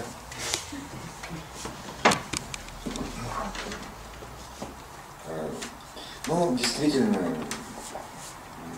гораздо легче защищать приоритеты достигаемого и теоретического, просто в силу того, что мы должны говорить слова, они сами отсюда родом. Но вот э, я правда пропустил этот момент, ну, как бы, такого. Мне-то что важно? Для меня интересно э, представить себе, как мог бы быть, выглядеть, скажем, минимум человеческого, который, тем не менее, полностью бы делал нас людьми, но где э, теоретическое э, выполняло бы, бы строго функциональную, несобственную роль. То есть я не имею в виду, например, э, ну, скажем, структуры цинического разума, где, опять-таки, э, все принадлежит э, циркуляции денег, а все остальное несерьезно. Но я имею в виду, ну, например, э, на самом деле, тут можно привести в качестве примера каких-то литературных героев только. Вот Федор Павлович Карамазов, допустим, знаменитый сладострастник, который так любит Крушенку, но э, там никакой теоретической просветленности нет. Есть э, что-то такое смешанное, ну, какая-то там ревность, смешанная с вожделением, э, с какими-то словами, с возможными э, посулами. Но ведь это же любопытное, крайне любопытное человеческое существо. То есть так может поступать только человек, да еще и достаточно интересно устроенный, хотя может быть и не очень приятно. Или вот э, э, Гумберт Гумберт из Лолиты, который тоже все инвестирует в эротическую утопию. Есть для него это Лолита, которая, которую нужно обихаживать как комнатный цветочек, быть, э, как бы быть первоисточником самого ее бытия. Предполагается, что Гумберг даст ей все, начиная от ласк и жвачки до последующих полезных театральных знакомств. То есть он полностью станет для нее Богом, и э, это для него абсолютно не теоретическая задача, которая является некой, некой утопией при этом эротической, которая, как известно, терпит крах. Но но ведь э, это, в общем-то, прекрасная история о человеческом мире, о нашей демиургии. Ну вот, вот такой вариант демиургии, да, вот подобная эротическая утопия, которая, ну пусть не оправдалась, но тем не менее. Она хороша тем, что э, показывает нам, что можно как бы не только э, вот идти вслед за завитками лоз, э, логоса, а, скажем, э, культивировать такого рода подробную жизнь, Э, преисполненную смыслов, интриг, ну как, например, салон госпожи де Вердюрен у того же просто в поисках веренного времени, где тоже все эти подспудные э, подводные камни общения, какие-то мелкие крупные самолюбия, и где тоже используется эрудиция и познание, но не собственным образом, а для того, чтобы эти странные произведения духа в виде э, еженедельно возобновляемых салонов состоялись. То есть вот такого рода странные оазисы, которые мы обнаруживаем повсюду, и которые свидетельствуют о абсолютно уникальном человеческом мире, и в то же время явно не являются теоретическими, э, вот, меня лично интересует именно вот такого рода э, миры, которые мы обычно выпускаем, они, как правило, э, свернуты, потому что мы, опять же, идем по след логосу, по след теоретическому, и все-таки действительно все равно оказываемся зрителями на бегах без собственной повозки. Кому не повезло. Я вот тут соглашусь, да, с, во-первых, с тем, что альтернатива ложная, а, и, конечно, речь шла не об альтернативе, и с тем, что слишком просто защищать теоретическое, да, и в этом смысле менее достойно. А, ну, если, конечно, ты не имеешь в виду, что ты защищаешь собственное заболевание, право болеть. Вот, да, это так. А, вот я хотела бы просто... И, и в этом смысле почему, да? Потому что, ну, естественно, с тех пор, как нам на голову свалилась эта хиарея, да, и вот это вот э, удивление и выход, ход за рамки естественного, мы всегда уже имеем дело вот с этим различием, да, и э, в себе всегда. Ну, то есть, э, и глупо в этом смысле представлять себе некого, ну, то есть не глупо, да, а до конца неоправданно представлять себя в качестве того или другого, да, и устраивать борьбу, потому что это в тебе все уже есть вместе, одно и другое. А вот если, и в этом смысле мы, конечно, не об этом говорили, да, а о том, насколько э, может быть оправдан фетишизм вот этого теоретического, случившегося когда-то с нами, то есть теоретического, случившегося когда-то с нами. Вот. А вот в смысле еще дополнительной оправданности возможного спора, я бы предложила иметь в виду не то теоретическое, которое спорит с чувственностью, наряду с ней, существу, наряду с теоретическим существующим. Вот сейчас, да, с нами, которые уже пережили вот это теоретическое, э, мы живем в культуре, да, мы не можем быть свободны от того, что через э, какое-то время после нашего рождения мы научимся наделять мир смыслами. Ну, или узнавать смыслы, присутствующие в этом мире. А вот если мы говорим, и вот ты вспоминал, да, о мире до того, как с ним случилось теоретическое, если мы говорим о мире мифа, вот тут, пожалуй, да, вот здесь, а, возможно, действительно постановка а, вот как бы под вопрос а, значимости теоретической. Это не значит, что на этот вопрос не будет дано ответа, да, но это уже будет гораздо серьезнее. Вот если я человек-миф, а, если у меня, не в смысле человек аффекта, да, не, не в смысле я там в колеснице и кричу, а я человек мифа. Я просто вот, у меня вот как Александр Куприянович, у меня боги рядом сидят. То есть все хорошо. Ну, то есть не все хорошо, а все просто вот а, даже не надо спрашивать о смысле, потому что он просто есть, да, и все, и у меня не возникает такого вопроса. Да, мне от этого не всегда хорошо. А боги толкают меня на войну и на, на ревность, на зависть и все это, но боги, да, и они рядом со мной. И вот здесь, да, вот с этой позиции, если бы мы могли ее себе э, не помыслить, да, а пытаться пережить, а я думаю, что мы можем, да, потому что это, вот как вы сказали, тоже всегда остается с нами. Ну, то есть, если нет твоей собственной биографической памяти, то в некотором таком историческом генотипе, да, мы, как люди мифа, остаемся... Не в чистой форме. Мы не способны уже это пережить постараться сильно. Я думаю, если сильно постараться, я думаю, Объем что это все... внутри переживаемого пространства, он ограничен, и оно должно быть чем-то заполнено. Либо оно заполнено полностью чистыми переживаниями, mm-hmm. и уже не остается места для рефлексивной позиции. Либо если у тебя есть рефлексивная настройка, значит вот этот объем переживаний неизбежно снижается и преобразовывается, упрощается. Ты видишь его снаружи не таким, как изнутри. Вот, мне кажется, что в этом смысле теоретически обладает вот э, такого э, рода силой, что она может э, э, редуцировать себя в пользу радикально иного, ну, как бы, мифологического, э, не, непонятным, совершенно э, необъяснимым с точки зрения, там, да, вот, физиологии, высшей нервной деятельности, образом э, дать случиться в себе этому человеку мифа. Так хочется верить. Не знаю, нужен микрофон, не нужен. Ну, вы говорите просто погромче, может быть, да, или как?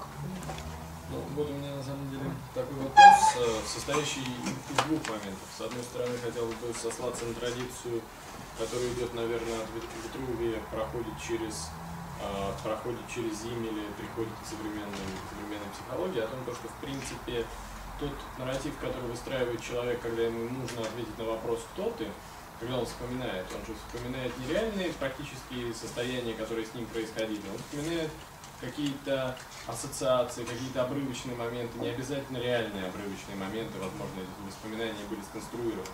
И при этом здесь он вспоминает не всю свою жизнь, а какие-то вот обрывочные кусочки, и на основе их слепливает какую-то целостную картину, которую и называет собственным личным опытом. То есть значительнее, я просто говорю, Азимеля в социологии смерти, когда значительную часть своей жизни просто уходит. Это не имеет значения, имеет значение какие-то такие привилегированные моменты. И здесь вот встает вопрос, вопрос первый, насколько это, с одной стороны, является теоретической обработкой практического опыта, и второй вопрос к этому, насколько здесь имеет, имеет значение тот практический опыт, который он пережил, или тот опыт, который он переживает сейчас, когда восстанавливает в голове эту самую ассоциацию. Это вот первый пункт. А второй пример это статья Бруно Латура о материализме. Я думаю, не надо ее пересказывать. Mm-hmm. Да, вот здесь вот такой вопрос о том, то, что когда мы переводим концепты своей головы в реальный мир, мы сталкиваемся с тем, что в итоге получается не этот Прямо о материализме, там название? А, верните мне материализм, по-моему. Ага, вот да, вот, ага, вот, да, да, и вот а, здесь, когда ну, собственно, переводится теоретический концепт реального мира, он отвечает сопротивление реального мира, потому что здесь действуют другие сети, другие силы. И здесь вопрос, а почему мы говорим о том, то, что теоретическое и практическое имеют как а, имеют, скажем, общие отношения. Может быть, это просто две сети, два разных языка, которые где-то вот пересекаются и пытаются друг на другом доминировать на периферийных масштабах. То есть, может быть, это в принципе два разных, два разных языка описания, которые соприкасаются только очень, очень мало. Вот такой вопрос.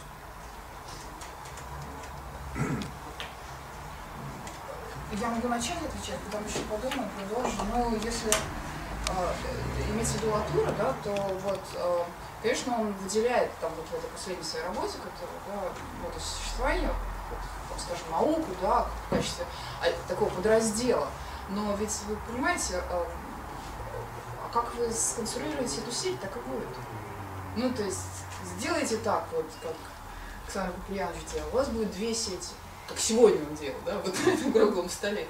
сделайте по-другому, будет одна сеть.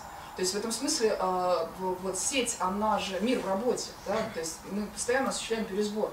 Поэтому как бы вопрос о том, как, как изначально распределены сети, если вопрос в контексте латура, мне кажется, вопрос не очень правомерный. Да? То есть здесь вот. А, в смысле того, что а, вот, да, реальность сопротивляется, да, когда мы вносим в нее смысл, а, безусловно. Ну, здесь, а, конечно, Латур вот бы подписался, да, вот под этим, вот, то, о чем я говорила в самом начале, под наукой как практической рациональности, там вот то, что озвучивает там, Норцетина, там, Хайкинг, там, все такое. То есть он, а, я так полагаю, вот в эту сторону ближе. Но опять-таки, да, есть такой модус существования, как наука. Да? И в этом смысле этот модус существования связан с истиной как ценностью. Да? То есть у него это есть тоже. Поэтому, поэтому я полагаю, что, конечно, это если мне позволено было вступить в разговор с Латуром, да, это некая одна сеть, которая э, допускает вот такого рода э, собирание. Она допускает разбирание, да, и собирание по-другому, где теоретическое и практическое противостоят друг другу и не пересекаются нигде, но есть возможность единый сбор. Я так думаю. Вот, по поводу первого вопроса я подумаю еще. Ну, действительно, с точки зрения Латура, там возникают некие замещающие нас акторы, да, которым мы делегируем э, какие-то элементы своего присутствия. В этом, безусловно, был его очень классный теоретический ход, потому что мы-то предполагали, что персонажем литературы или актером на сцене мы-то запросто делегируем свое присутствие. А вот доводчик двери, да, замок.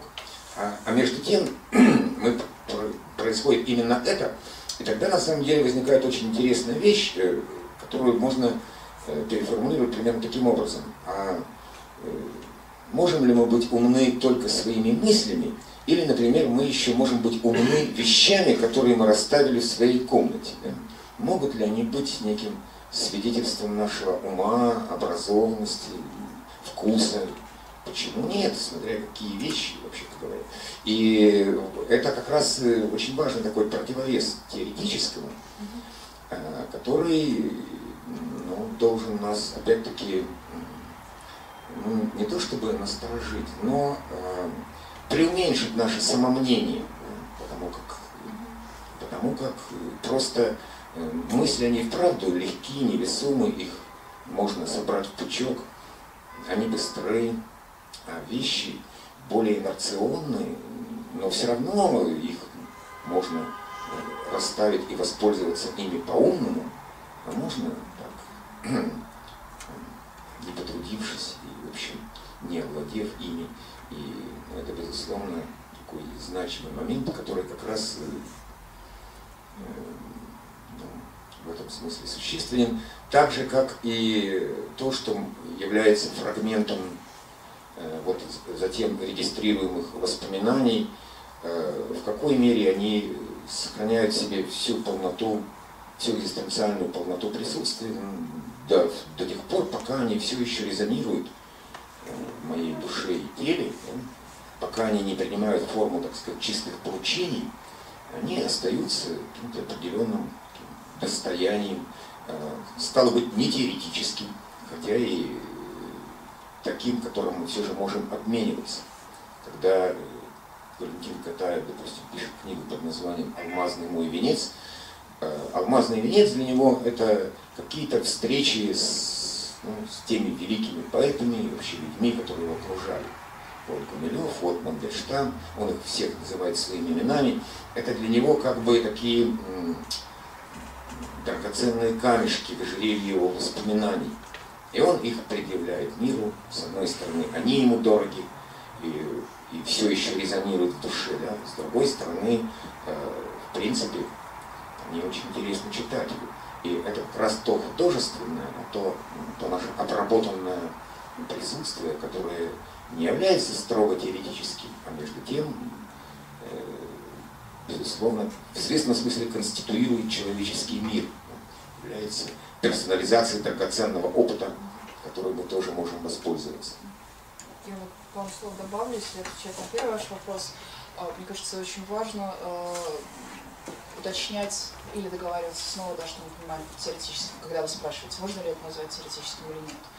Вот, и в этом смысле я бы, вот, а, если уточнить, да, или, например, если принять на время, что теоретически, мне сегодня нравится такое название, а, нужно называть а, некое обесконечивание конечным, или придание конечному некоторой бесконечной значимости, да, сущностной значимости, то тогда, конечно, я а, в той мере занимаюсь теоретической деятельностью по отношению к любому конечному сущему, в том числе к своему конкретному воспоминанию, если я возвожу его в контекст целого. Да?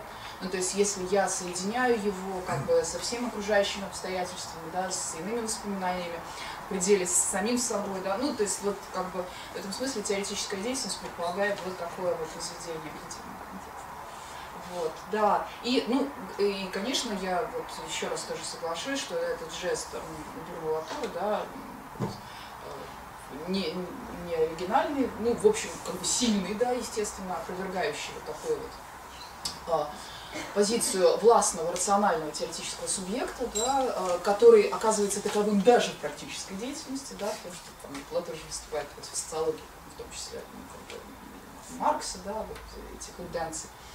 Вот. Он действительно может быть понят как радикальная критика теоретического, но а, именно в этом смысле он меня отсылает не к какой-то вот здесь сейчас присутствующей не теоретичности нашего мира, а, а вот к тому, что я назвала архаикой. Да? То есть я бы так соединила вот такого рода понимание и а, мира вещей, и отношения с вещами, которое предлагает иметь в виду Латур с а, тем, что там, скажем, Батрияр называет символическим обменом, да, тем, что там, о чем пишут э, антропологи типа Марселя Мосса, ну, то есть вот. И, конечно, это а, значимая альтернатива тому, что мы называем теоретическим. Светлана. Да. У меня, на мой взгляд, тут прозвучала очень интересная тема, которую очертил Александр Куприянов. То есть он вплотную к этому подошел, но потом мы свернули. Я хотела бы как бы вернуться к этому и еще раз это очертить и еще судить. Да, то есть вы сказали, что вот есть какая-то арена, где кто-то правит колесницей. И вот там, да, кто же там, да, теоретики, практики. И поскольку, ну, вообще считалось всегда, да, что культура это некая вот культивация человеческих избыточностей. Будет как какой-то полис, да, в котором мы культивируем одну избыточность, потом, может быть, это воин, а может быть, дальше это будет дирижер, на котором мы будем ходить. Да, неважно, что это за избыточность, но вот культура, да, обычно культивировала избыточность, и это, это и было как бы брошено на арену. Вот. Но что же оказывается на арене сейчас, да, и вот кто там правит? Вы уже упомянули, просто я хочу как бы вашими же примерами воспользоваться, вы упомянули Гумберта, и вот здесь, мне кажется, Набоков очень показателен, да, ведь Гумберт, вообще-то он теоретик, он учится грешить, он грешит великих. Но в какой-то момент, и он даже думает, что он путешествует, и сам придумывает себе путешествие. Но самое это ужасное, что вот великий теоретик, учащийся великих, который пытается стать практиком, наконец, обнаруживает, что его карта уже расчерчена. Эта карта расчерчена кем? Вот этим поп-режиссером Квилси, да, который там режиссирует детские спектакли, да, и он, конечно, такой поп-персонаж. И поэтому вот как раз сегодня, если мы будем честны по отношению к себе, то, скорее всего, мы себя э, обнаружим не как результат божественного замысла, да, а как продукт вот такой вот поп-сборки, по отношению к которой нам нужно как бы всячески противостоять. И вот э, ну, я клоню на самом деле к Агарбину в голой жизни, но просто сейчас еще хочу развернуть это, да, то есть вы говорили вот о том, что действительно вот были там ревность, зависть, обида, вина, но предполагалось, что в культуре всегда было некое приватное пространство, там, от полиса, да, где никого не интересовало, где вот тот самый замечательный гражданин, который только что хорошо выступал, мог приходить, там, бить жену или детей, но это просто было уже его дело, или кричать, там, это было неважно. Да?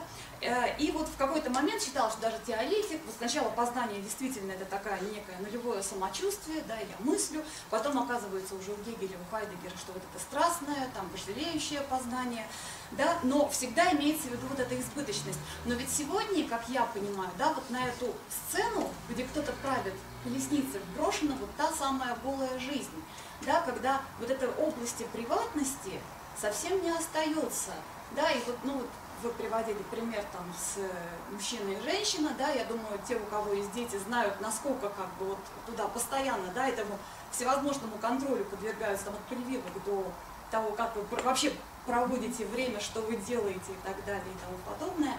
И вот все-таки кто правит на этой колеснице? Вот, э, есть ли там еще место вот этому вот э, теоретику Гумберту, который учится в великих?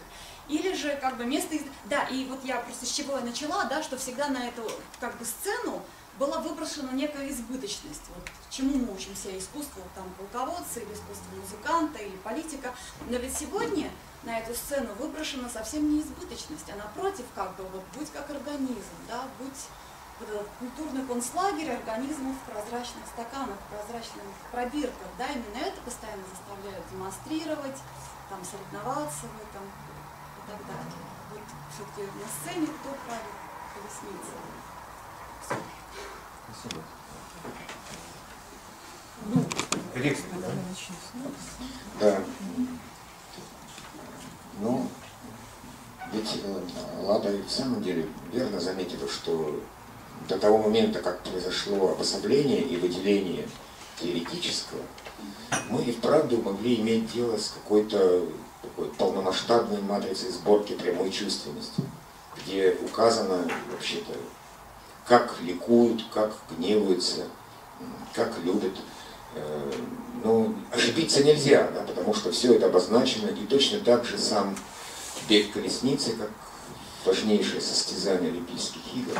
Он предполагал две вещи, не только агональное первенство, прийти первым по стадию, но и, собственно, соразмерность, вот этот фронезис, когда, э, когда упряжка коней так прекрасна в своей поступе в своем беге, что в какой-то момент ты забываешь, придет ли она первым или нет. Она, э, собственно, есть некое великое произведение, да? совершенно не теоретическое произведение, которое, тем не менее, э, настолько существенно, что даже боги в этот момент слышат музыку сфер, как от правильно настроенного космоса или полиса. И, и, и таковы основные модусы проживания, они и в самом деле лишены отдельного теоретического. Для этого и вправду должны появиться вот эти вот э, теоросы э, и жрецы Логоса, э, которые там,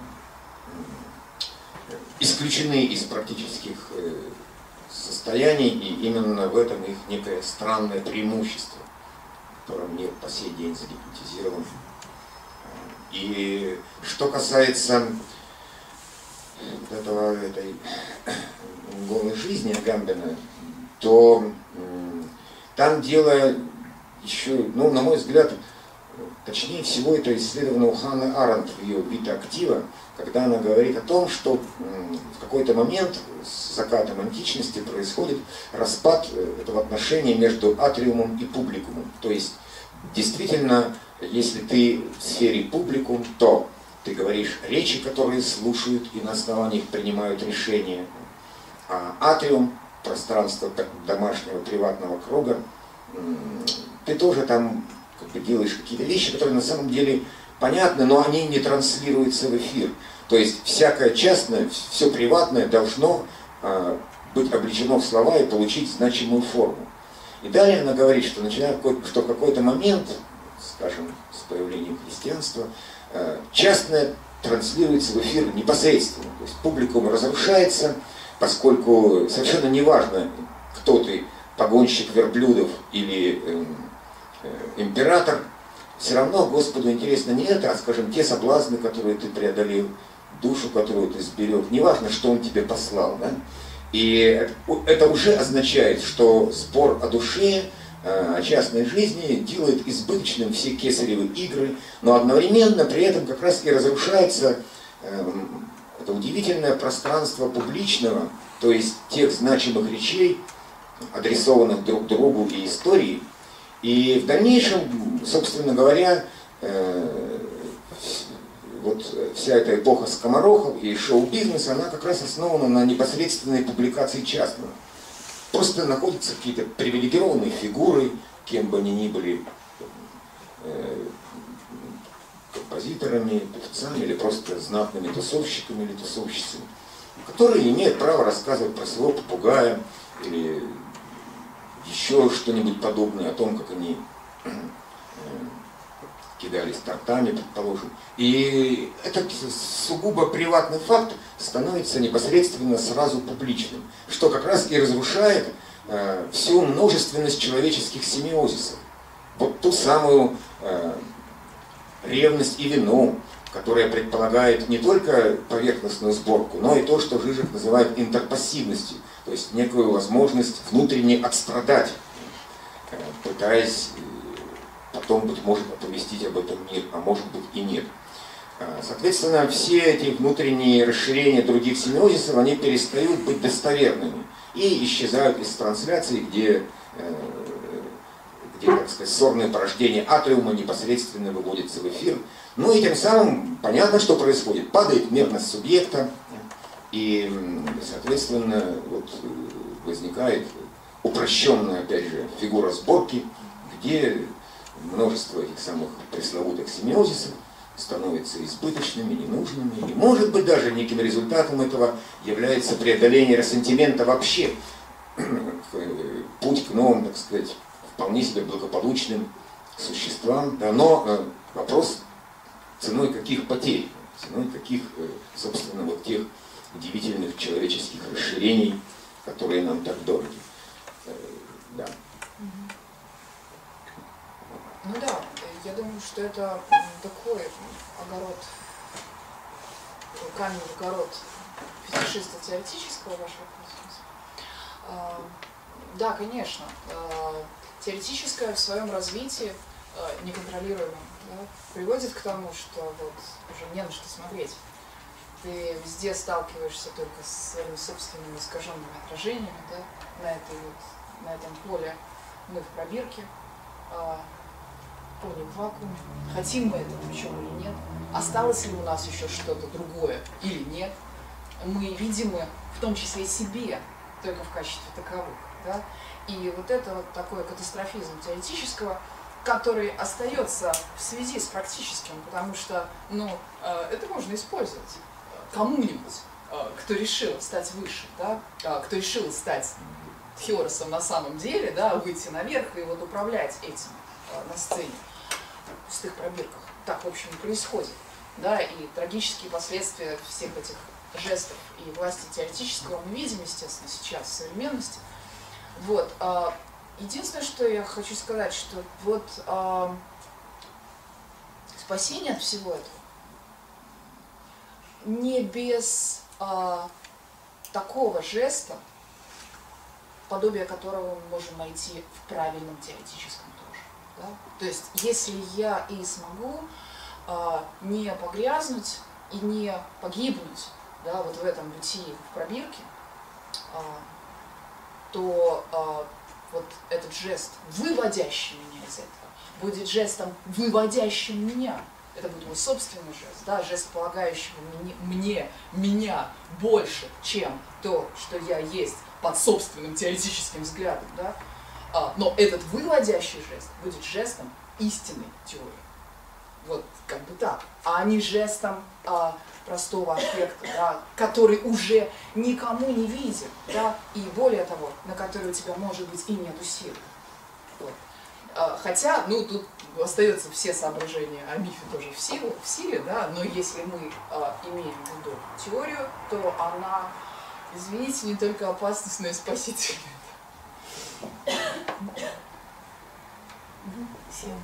А, там звучала идея про, ну, в смысле, реплика про дыхательные практики. Вот у меня в эту сторону движение. Вот не может ли, да, вот эта практика молчания, практика каких-то э, ну, так сказать, на что направлены какие-то практики духовные, да, они ведь тоже связаны как бы с тем, чтобы, да, там, чище становилось мир, ну, так это назовем. То есть, чтобы мы присутствовали при этом теоретическом событии в каком-то ином собственном виде. Чтобы для нас эта теория оживала для нас да, каким-то иным способом. То есть может ли да, там, практика молчания добавить нам совершенно иное измерение мысли, да, иное измерение теоретического, которое бы э, влекло какие-то друг, другой способ проживания этого всего, да, и другой, может быть, вообще другую мысль. То есть вот эта гонка теоретического, она вообще разрушится от этого? Вот мне интересно, как вам, вам кажется, да? Или это что-то иное совершенно будет, да? То есть и, если мы пытаемся стартовать да, с позиции некоторых да, присутствующих практик, да, то есть э, что, что это нам будет добавлять? Раз, и сейчас еще второе.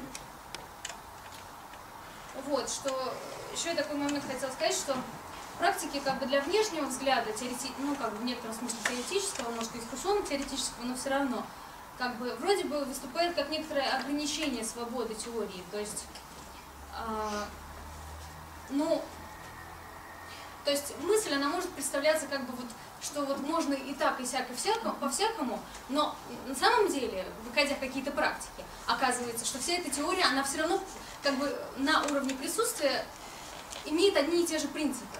То есть получается, что как бы с внешней такой вот именно теории абстрактной стороны получается, что вот нам практики, значит, мешают, а реально э, как бы получается, что это только внешняя сторона, то есть практика и мысль в соединении может дать, может быть, как бы нечто иное, да, ну вот как бы, ну вот последняя формулировка может быть не очень хорошая, но вот были намеки, да, на то, что вот как, как бы нам, да, представить мысль в соединении с этим молчанием. И будет ли это там философия, ну не надо названий, наверное, но вот что это такое за рода явление, и можно ли вот это теоретическое продолжать, и как, какой вид это будет иметь? Ну, а, два соображения, если сейчас я не опущу. А, одно соображение касается, я скажу сейчас одно, а, Одно соображение касается вот а, встраивания, да, теоретического, ну, в смысле практического в теоретического, да.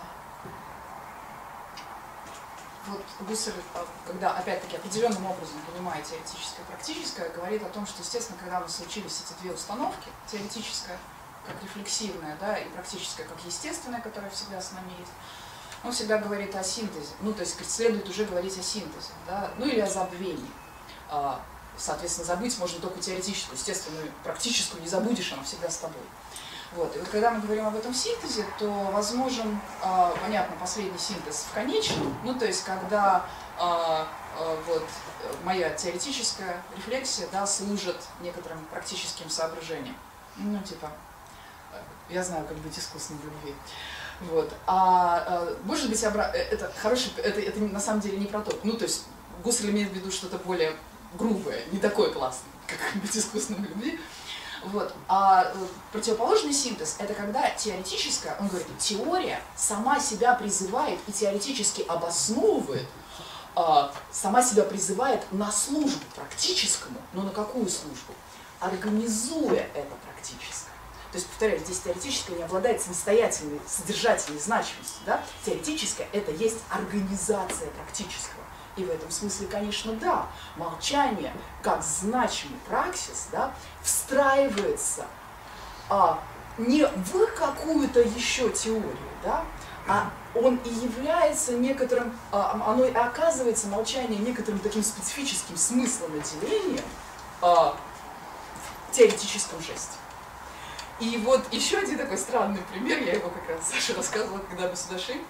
Один физиолог, вот у меня выпало совершенно из памяти, а, его фамилия, который э, занимался этими э, мышцами, то есть лягуш, лягушачьи ножки растягивал и, и измерял вот напряжение, да, ну то есть вот на приборчике специальном, как они сокращаются.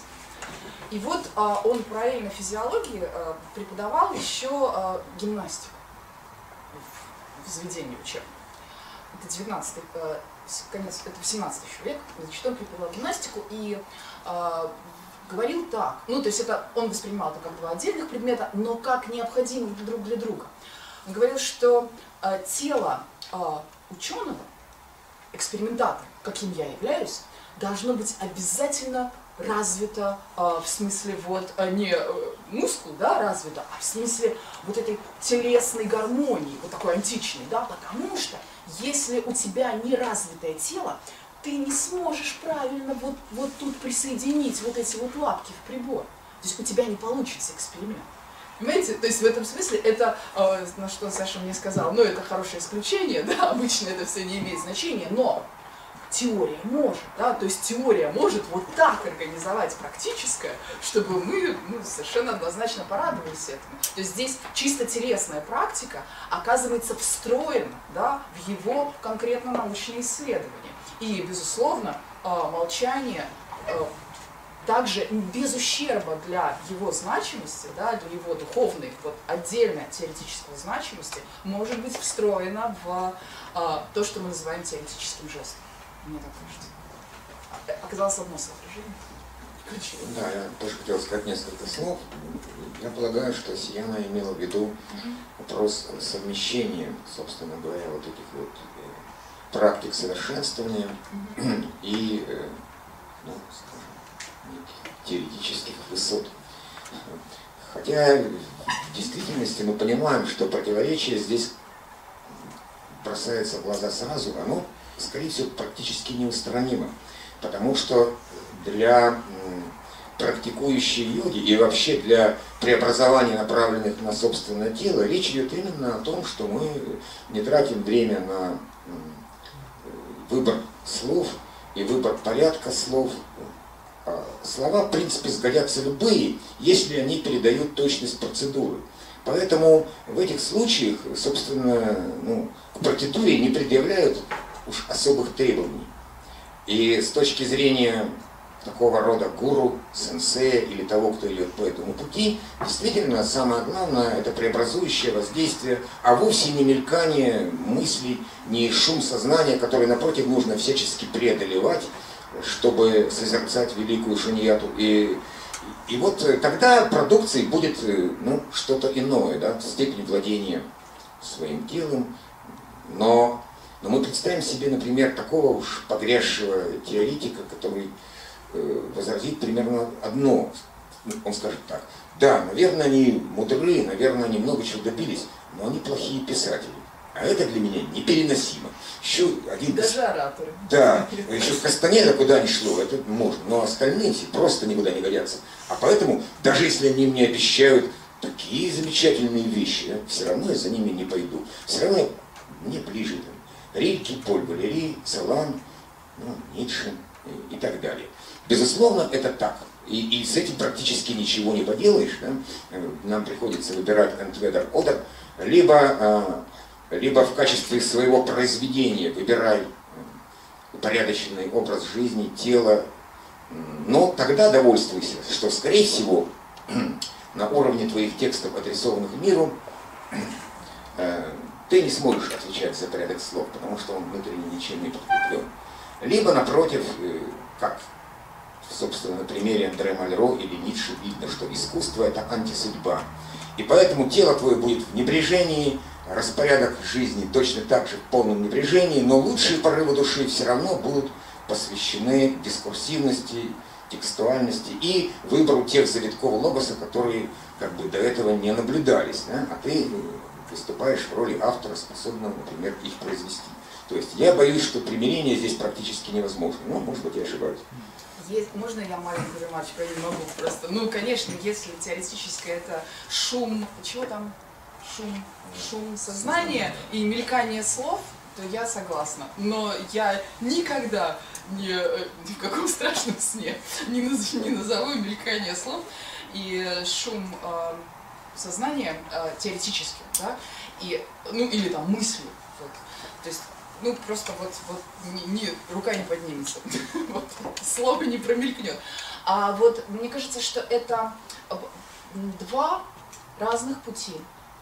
И э, путь с теорией – это окружной, к одной и той же цели. И в этом смысле между ними нет противоречия.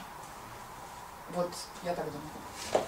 У меня, видимо, в связи с этим вопрос. Изначально э, заданная альтернатива э, в некотором смысле представляет собой онтологическую схему, которая, ну, возможно, исходя из э, изначальной там, мысли авторов, что она должна как бы обобщать и включать в себя все возможные качественно различающиеся формы человеческого существования, ну, модусы, там, как можно назвать, Плюс потом еще всплыла тема практики, практического действия. Ну, э, понятно, что вот э, такие качественно различающиеся характеристики переживания, телесное или экзистенциальное переживание, плюс умопостигаемое и умственная деятельность в целом, плюс практика, все это невозможно там в одномерную схему вместить. Это, скорее всего, должно быть многомерное пространство, чтобы выложить все вот эти вот характеристики человеческого бытия. Можно там э, сказать, что, в принципе, э, рядом с любым из этих э, качественно различающихся видов деятельности есть какая бы то ни была практика.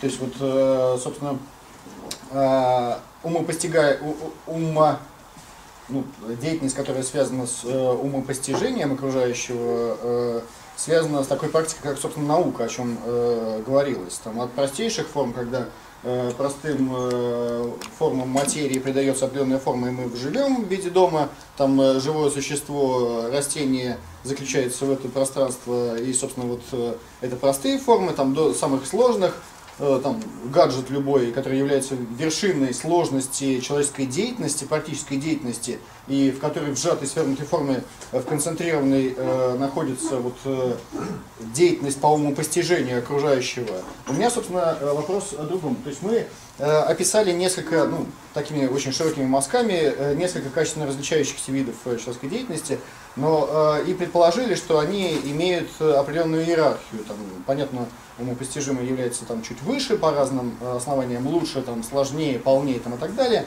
Но вот вопрос э, вам, как философам, э, которые могли бы сказать наверняка о том, что мы характеризуем как умопостижимая деятельность гораздо больше, и другими э, самыми разными эпитетами описать, тем людям, которые находятся на переднем краю, а с переднего края могут быть видны горизонты, которые не видны тем людям, которые находятся на других стадиях, там, неважно, более низких стадиях и так далее, у которых взгляд не проникает за этот самый, за это пространство умопостижимого, а вы находитесь на нем, ну, как философы, э, и ваша профессиональная деятельность в этом заключается. Они, у меня вопрос, собственно, заключается вот в чем.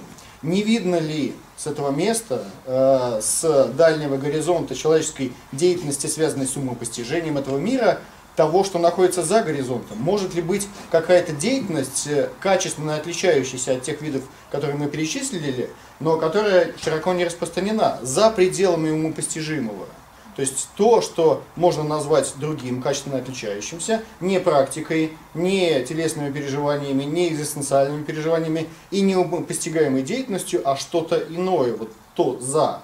Видно ли там вот с того места, где вы находитесь, вот что-то это такое? А, ну, вы знаете, я я вот сразу скажу, что я на чем я настаивала всегда в своей речи, что мы постигаемо, и позиция умопостигатора, да, это не есть некоторая такая вот, эм, это стул повыше, да, или это как бы второй этаж. Нет, нет, нет. А, то есть если а, рассуждать пространственно, практическое или естественное это вот так, ну как бы естественная установка, а теоретическое это вот так, причем в каждой точке. Ну, это не так, да, то есть вот это принципиально.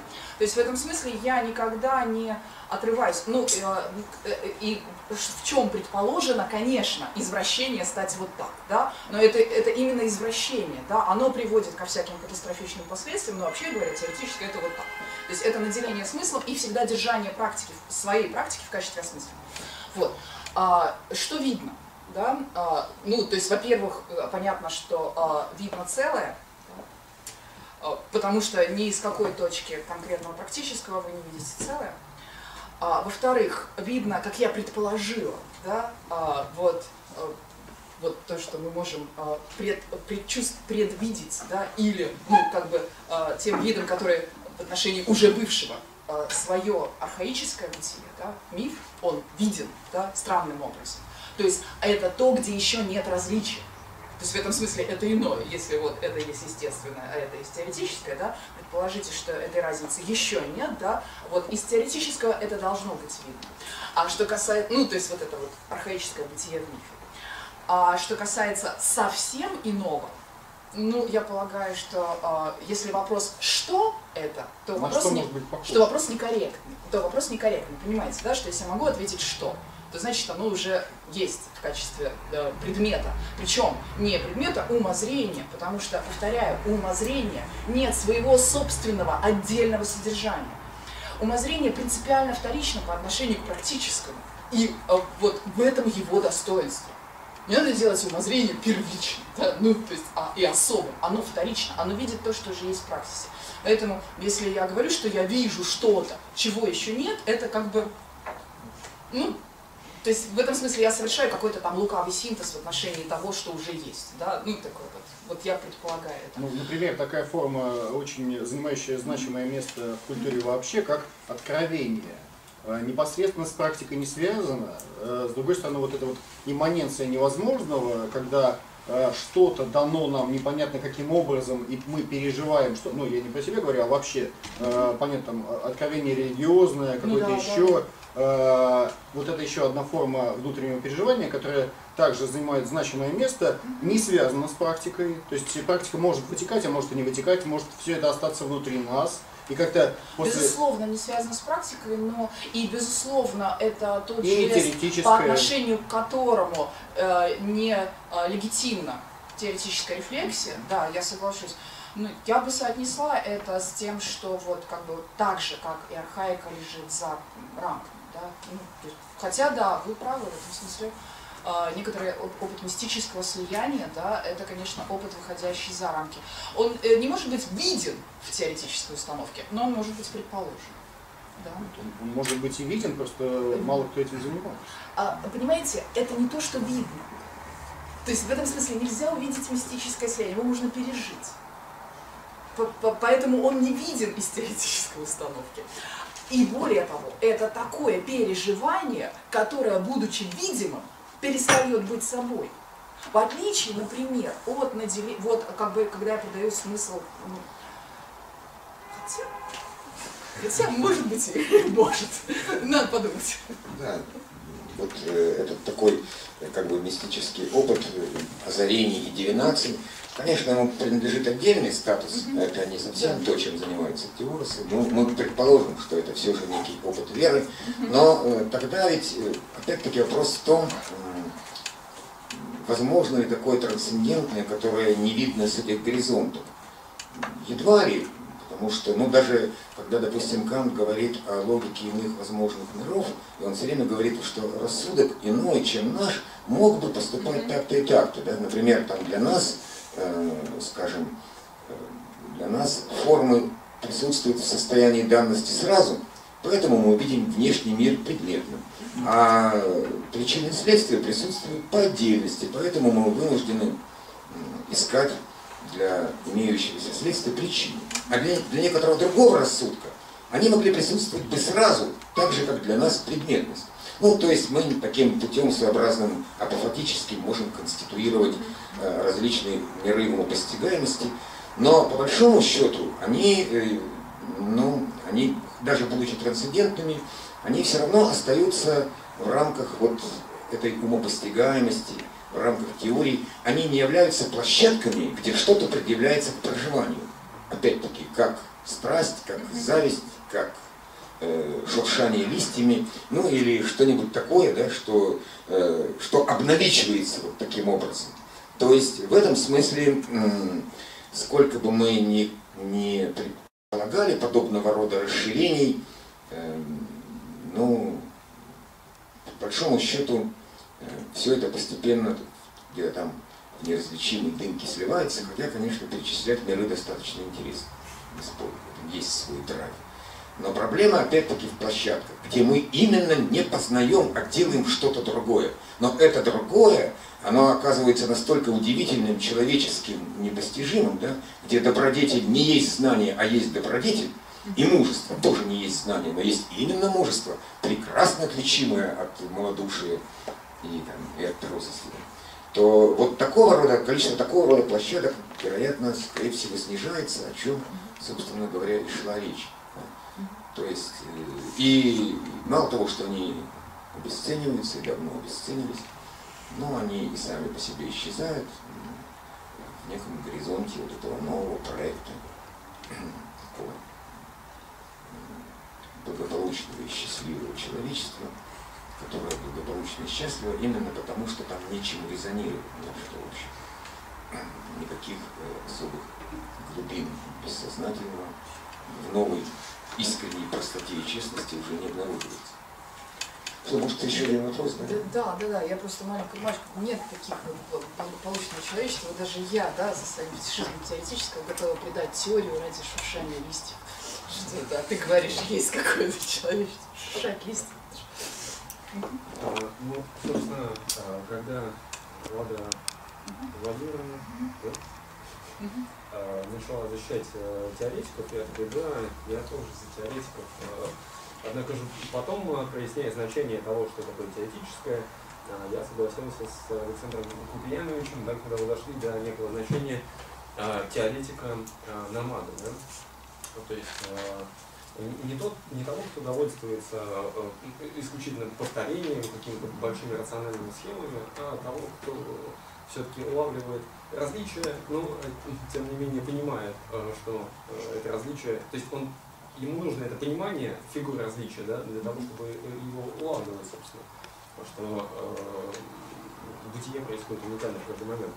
И, э, собственно, вы еще говорили о, Ницше, и вот э, по сути, это та же борьба против э, засилия теоретического в его веселой науке или в сумерках идолов.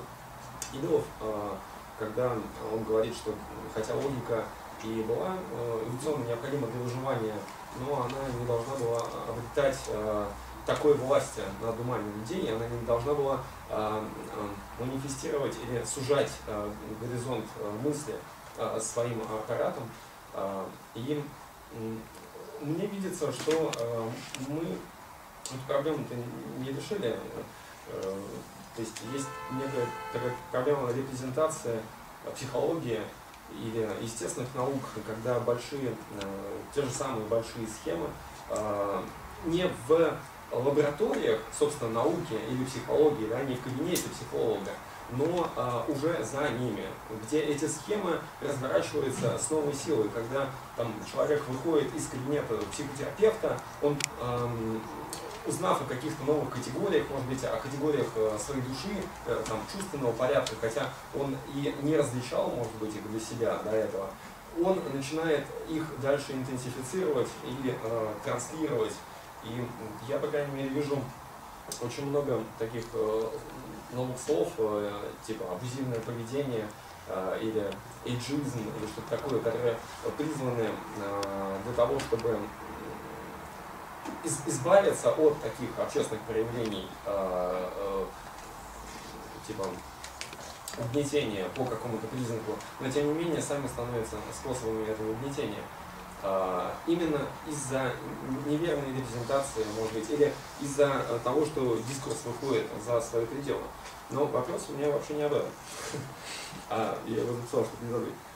А, Вот э, сначала вы э, говорили, потом э, разные люди задавали вопросы, и э, я поймал себя на непонимании того, что вообще происходит, о чем все говорят. Э, И вот у меня вопрос, мне одному трудно достраивать э, контексты и подразумевать какие-то референции в этих э, языковых играх, э, чтобы не нарваться на м, уже понятное повторение внутри себя, чтобы найти там отличное что-то от того, что я уже понимаю.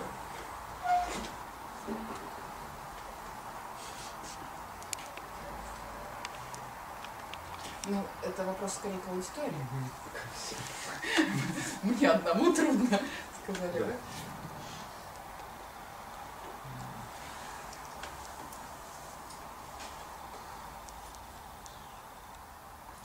А, всего, нет, не вам одному. Конечно, нет. А, Безусловно, не вам одному трудно. Более того, а, ведь, понимаете, когда я выступала в защиту теоретического, я же сказала, что есть рефлексия, да, и э, я говорила о том, что, безусловно, теоретическое порождает, причем с необходимостью, да, в этом смысле в фетишизме есть своя необходимость, порождается необходимость вот эту вот а, структуру репрезентативного мышления, а, которая оказывается порабощающей, да, и поэтому вне ее, а, ну, очень сложно что-нибудь, причем она действует на всех уровнях, да, то есть она действует в том числе на уровне таком предсознательном, да, вот эти структуры, действуют вот, в том числе так, хотя казалось бы, да, рациональные такие структуры.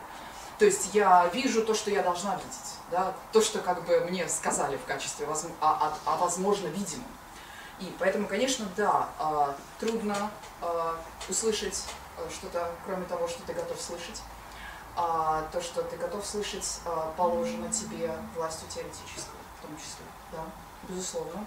А, э, есть э, необходимость и власть репрезентации. Но есть возможность а, этому противостоять. Не а, как вот я начинала да, с этой проблемы преступления или болезни, не а, осмыслив репрезентации как преступление и, соответственно, наказав, а, желательно высшей мерой, да, чтобы этого больше не было, чтобы мы наконец-то растворились в некотором поле настоящего такого, ну, реального, настоящего, если получится вот в том, что мы имели в архаике. А, потому что невозможно, да, ну, то есть невинности больше не будет, ну, надо отдавать себе этот отчет. А другими способами, да, есть способ преодолеть власть репрезентации. А, то есть, да, всем трудно, так же, как и вам, но с этим можно бороться, А, я думаю. Буквально ремарку. У меня есть даже э, возможности, как, как бороться. Ну, это такой длинный разговор отдельный. Может быть, мне, мне кажется, и не нужно бороться, потому что... ну, Нет, не бороться, а профилактику как бы устраивать, да, профилактику. Мне кажется, и не нужно даже профилактики, потому что вот я, ну, я по себе могу сказать, что, безусловно, э, разные степени понимания, там, последние из которых э, ты можешь сказать то же самое другими словами, э, рестей, там, э, фраз, там, э, до этого интуитивное понимание и так далее. Э, Наверняка не все здесь присутствующие находятся на последней стадии понимания, когда они могли бы повторить все, что было сказано другими словами, понятными для себя и для окружающих. Но тем не менее мы все здесь находимся. Почему? Потому что что-то э, неизбывно нас влечет вот к такому рода, как и действительно в цирке э, глагол жонглировать не раз э, упоминался о том, что э, можно рассматривать вот эту вот э, ситуацию как цирк, когда сидят уважаемые люди, облеченные многочисленными регалиями и способностями, бесконечным количеством знаний, которые жонглируют перед нами вот этими словами, концепциями, и мы смотрим и удивляемся, поражаемся этой удивительной картине, и это нас, безусловно, привлекает. Мы сами не можем этого сделать.